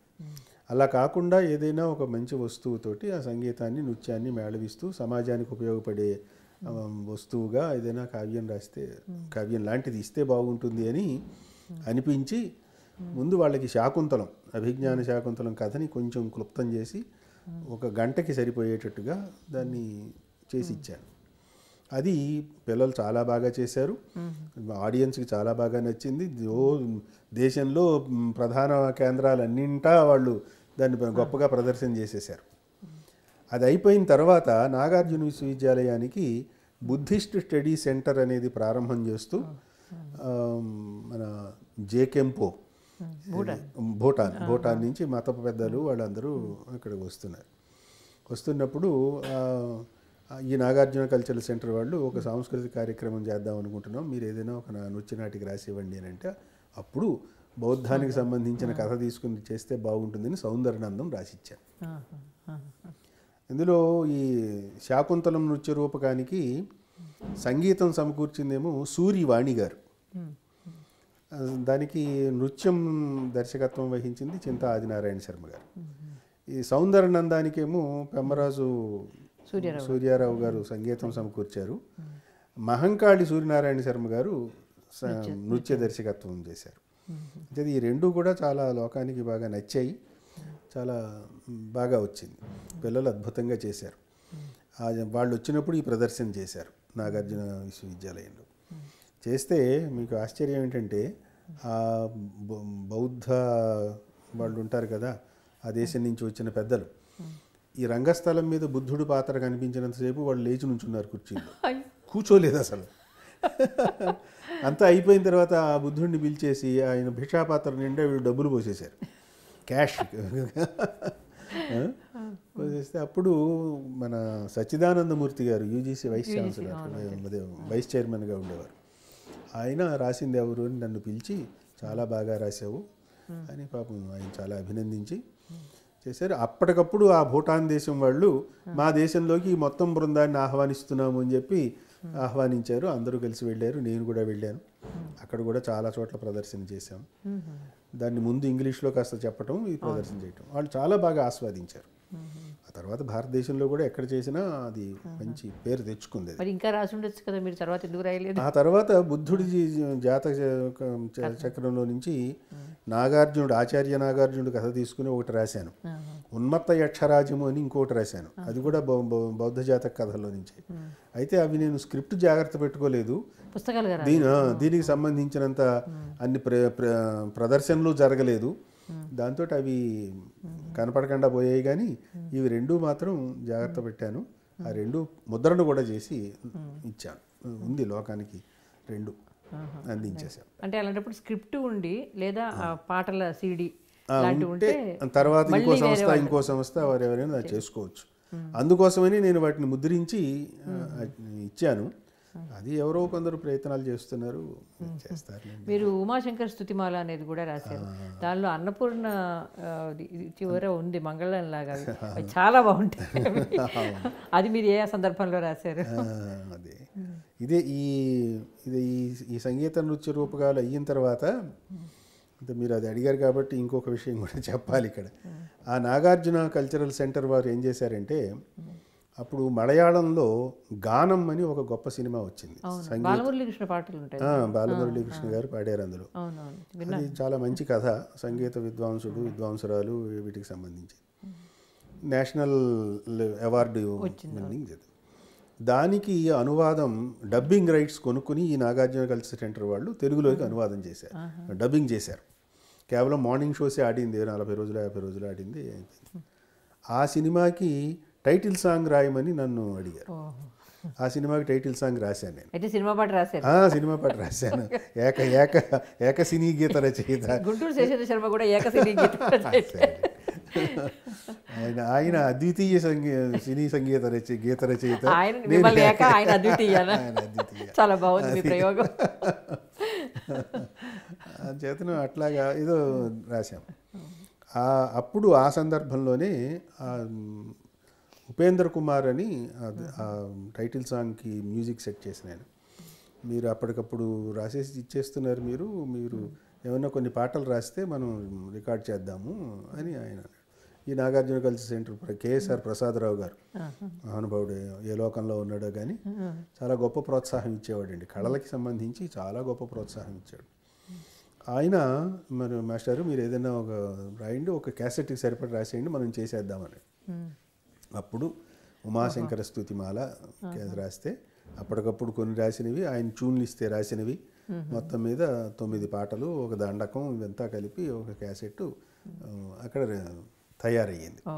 ఒక రెండు మూడు రోజుల వ్యవధిలో తయారయ్యింది. అది చాలా ఊరూరా ఇప్పుడు బాగా ఆనందం ఏమిటంటే అందులో నేను శివుడికి సుప్రభాత శ్లోకాలు పెట్టాను. శివుడికి? ఉండదు ఉండదు. ఎందుకంటే శివుడికి సుప్రభాతం ఉండదు ఎందుకంటే ఆయన నిద్రపోడు కదా అసలు.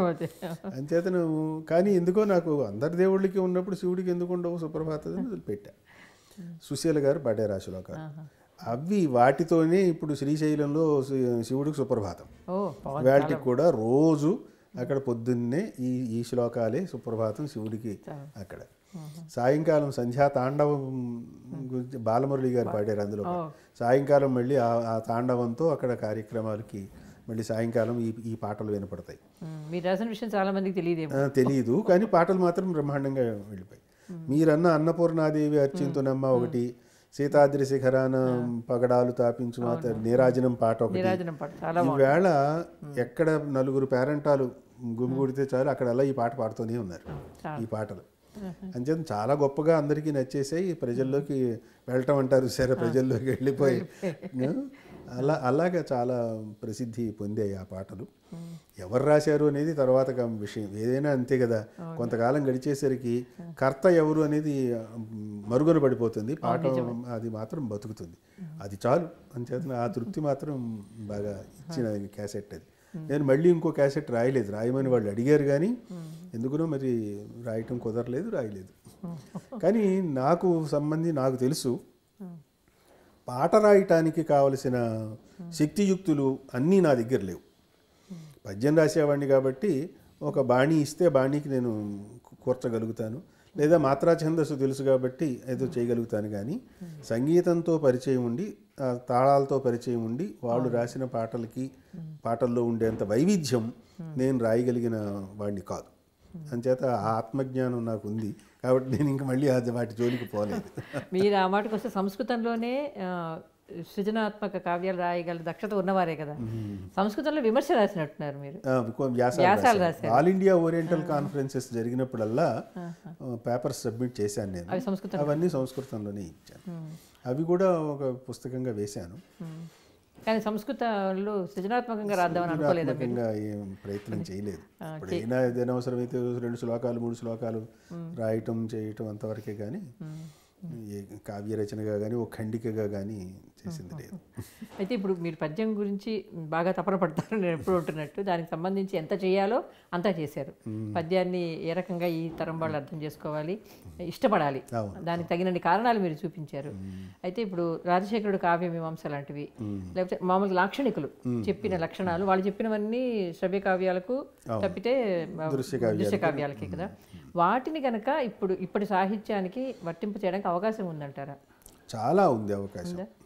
ఇప్పుడు వస్తువు మారచ్చు కానీ అభివ్యక్తి విధానాలు అవేనండి వస్తువు మారటం అని అంటే మీకు ఒకప్పుడు చంద్రుడిని ఉపమానంగా చెప్పేవాళ్ళం ఇంకోటి ఏదో ఒక ఇంకో వస్తువుని ఉపమానంగా చెప్తాం. అంతేగాని ఉపమానం చెప్పడం అనే మౌలిక లక్షణం మాత్రం పోలేదు. పోలే. ఏ కవిత్వానికి ఏ కవిత్వానికైనా అదే అది రూపకం అవ్వచ్చు ఉత్ప్రేక్ష అవ్వచ్చు ఇంకోటి అవ్వచ్చు ఇంకోటి అవ్వచ్చు కానీ బేస్ మాత్రం ఉపమా. ఆ ఉపమా చెప్పటము అనేటువంటి మా లక్షణం ఎలాగైతే కామన్గా ఉందో అలాగా అలంకార శాస్త్రం చెప్పిన కామన్ విషయాలు అన్ని కాలాల సాహిత్యానికి అన్ని ప్రక్రియల సాహిత్యానికి కూడా అన్వయించే మౌలిక విషయాలు అందులో ఉన్నాయి. కొన్ని కొన్ని అన్వయించకపోవచ్చు. కొన్ని ఇప్పుడు ఛందస్సుకు సంబంధించిన విశేషాలు ఇక్కడ అవసరం అవసరం లేకపోవచ్చు. కానీ ఆ కావ్యాన్ని ఎలా నిర్మించాలి? లేదా ఒక కవితా ఖండికను ఎలా నిర్మించాలి? ఎలా చెబితే అది రసస్ఫోరకమవుతుంది?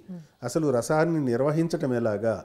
ఇలాంటి మౌలిక విషయాలు అలంకార శాస్త్రం చదువుకుంటే అవగాహనకి వస్తాయి. అయితే అవి తెలిస్తేనే ఈ రచన చేయగలడు అనలేం. అది నిజమే. అవి తెలిస్తేనే ఆస్వాదించగలడు అనలేం. కానీ ఒకటి విమర్శకుడు వాటిని అది అన్వయించుకుంటే సృజనకారుడు చేయడు. కానీ విమర్శకుడు చేయాలి కదా. అంటే విమర్శ అంటే ఒక్కటి గుర్తొచ్చింది మీరు. ప్రబంధాల గురించి ఎవరు అన్న మాట కూడా మీరు ఒకటి అన్నారు. ప్రబంధాల గురించి మామూలుగా వీర శృంగార రసాల్లో ఒకటి ఈ నా ధీరోదాత ధీరో ధీర లలిత నాయకుడు ఇవేవో లక్షణాలు ఏవో ఉంటాయి కదా వర్ణాలు అష్టాదశ వర్ణాలు ప్రబంధాలన్నీ కూడా దాదాపుగా వివాహ వ్యవస్థ కుటుంబ వ్యవస్థను గురించి చర్చించేవి అనేది చాలా మౌలికమైన అవ చూపు మీది. దానికి నిజంగా మీరు అన్నాక ఆలోచిస్తే అవే కనిపిస్తున్నాయి మాకు కూడా. అది చాలా మౌలికం అనిపించింది. ఆ మాట ఎందుకు అనిపించింది మీకు? అంటే ప్రధానంగా కేవలం వివాహం చుట్టూరనే తిరిగాయి. తర్వాత కాలంలో కూడా మళ్ళీ వివాహం చుట్టూరని తిరిగాయి. ఇప్పుడు దక్షిణాంధ్ర యుగంలో వచ్చిన కావ్యాల్లోనూ వివాహం చుట్టూని తిరిగాయి. కానీ ఆది తిరగటానికి ఇవి ఇవి వివాహం చుట్టూ తిరగటానికి చాలా తేడా.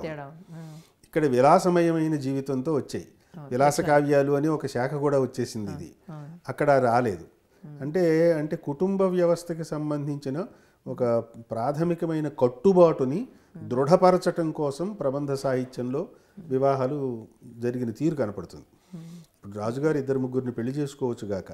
కానీ దానికి కట్టుబడి ఉండటము అనే ఒక వ్యవస్థ ప్రబంధ యుగంలో వివాహాలలో కనపడుతుంది. దక్షిణాంధ్ర యుగం వచ్చే కావ్యాల్లోకి వచ్చేసరికి ఇక్కడ అది ఆ ధర్మనిష్ట అనేది ఇక్కడ కనిపించదు. అంచేతని ఈ రెండింటిని పోల్చి చూసినప్పుడు అలాగే చారిత్రకంగా కాలాన్ని బట్టి చూస్తే కూడా కృష్ణదేవరాయల కాలంలో మనకి ఇతర దే సంస్కృతుల తాకిడి ఎక్కువ వచ్చింది.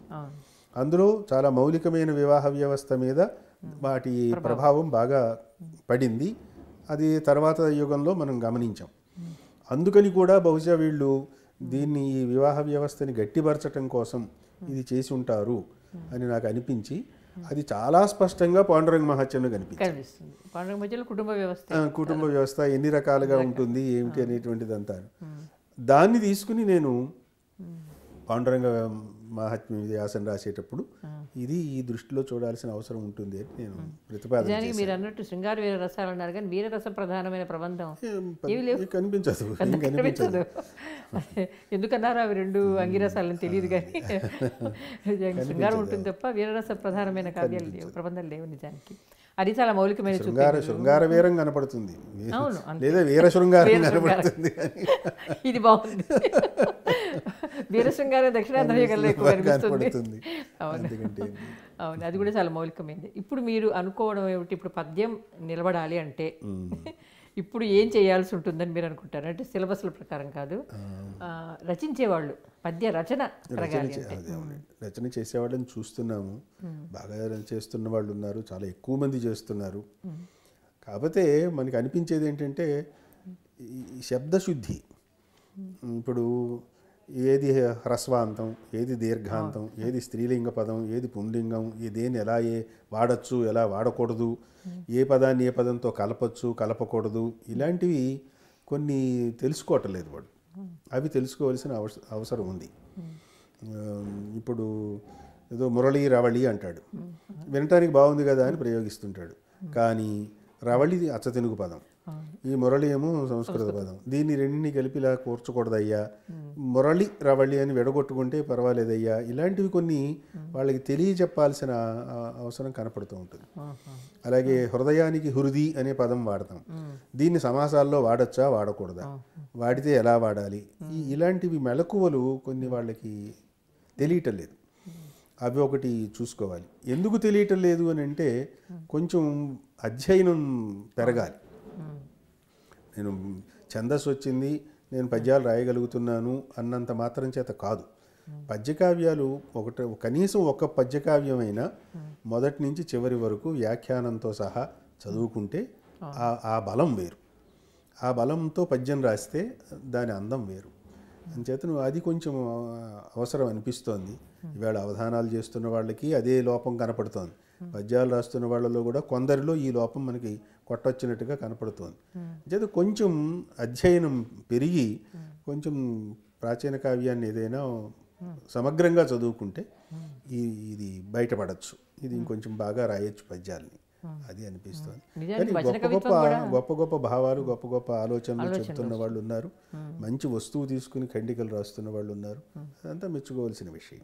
ఇప్పుడు వచన కవిత్వం కూడా పలచబడిపోయింది కదా. వచన ఎంత వచన కవిత్వం స్వేచ్ఛగా రాయించుకోగలిగింది అయినా దానికి కూడా కొన్ని నియమాలు. నియమాలు ఉంటాయి కదా. పద్ధతి ఉంటుంది. తప్పనిసరిగాను లేకపోతే తేలిపోతుంది. మంచి వచన పద్యానికి కాని దానికి తేడా మనకు బాగా తెలుస్తుంది. ఆయన నగ్నముని గారి వచనానికి వచనమే శత్రువు అన్నట్టుగా నేను పద్యానికి పద్యమే శత్రువు అని ఏనాడు చెప్పాను.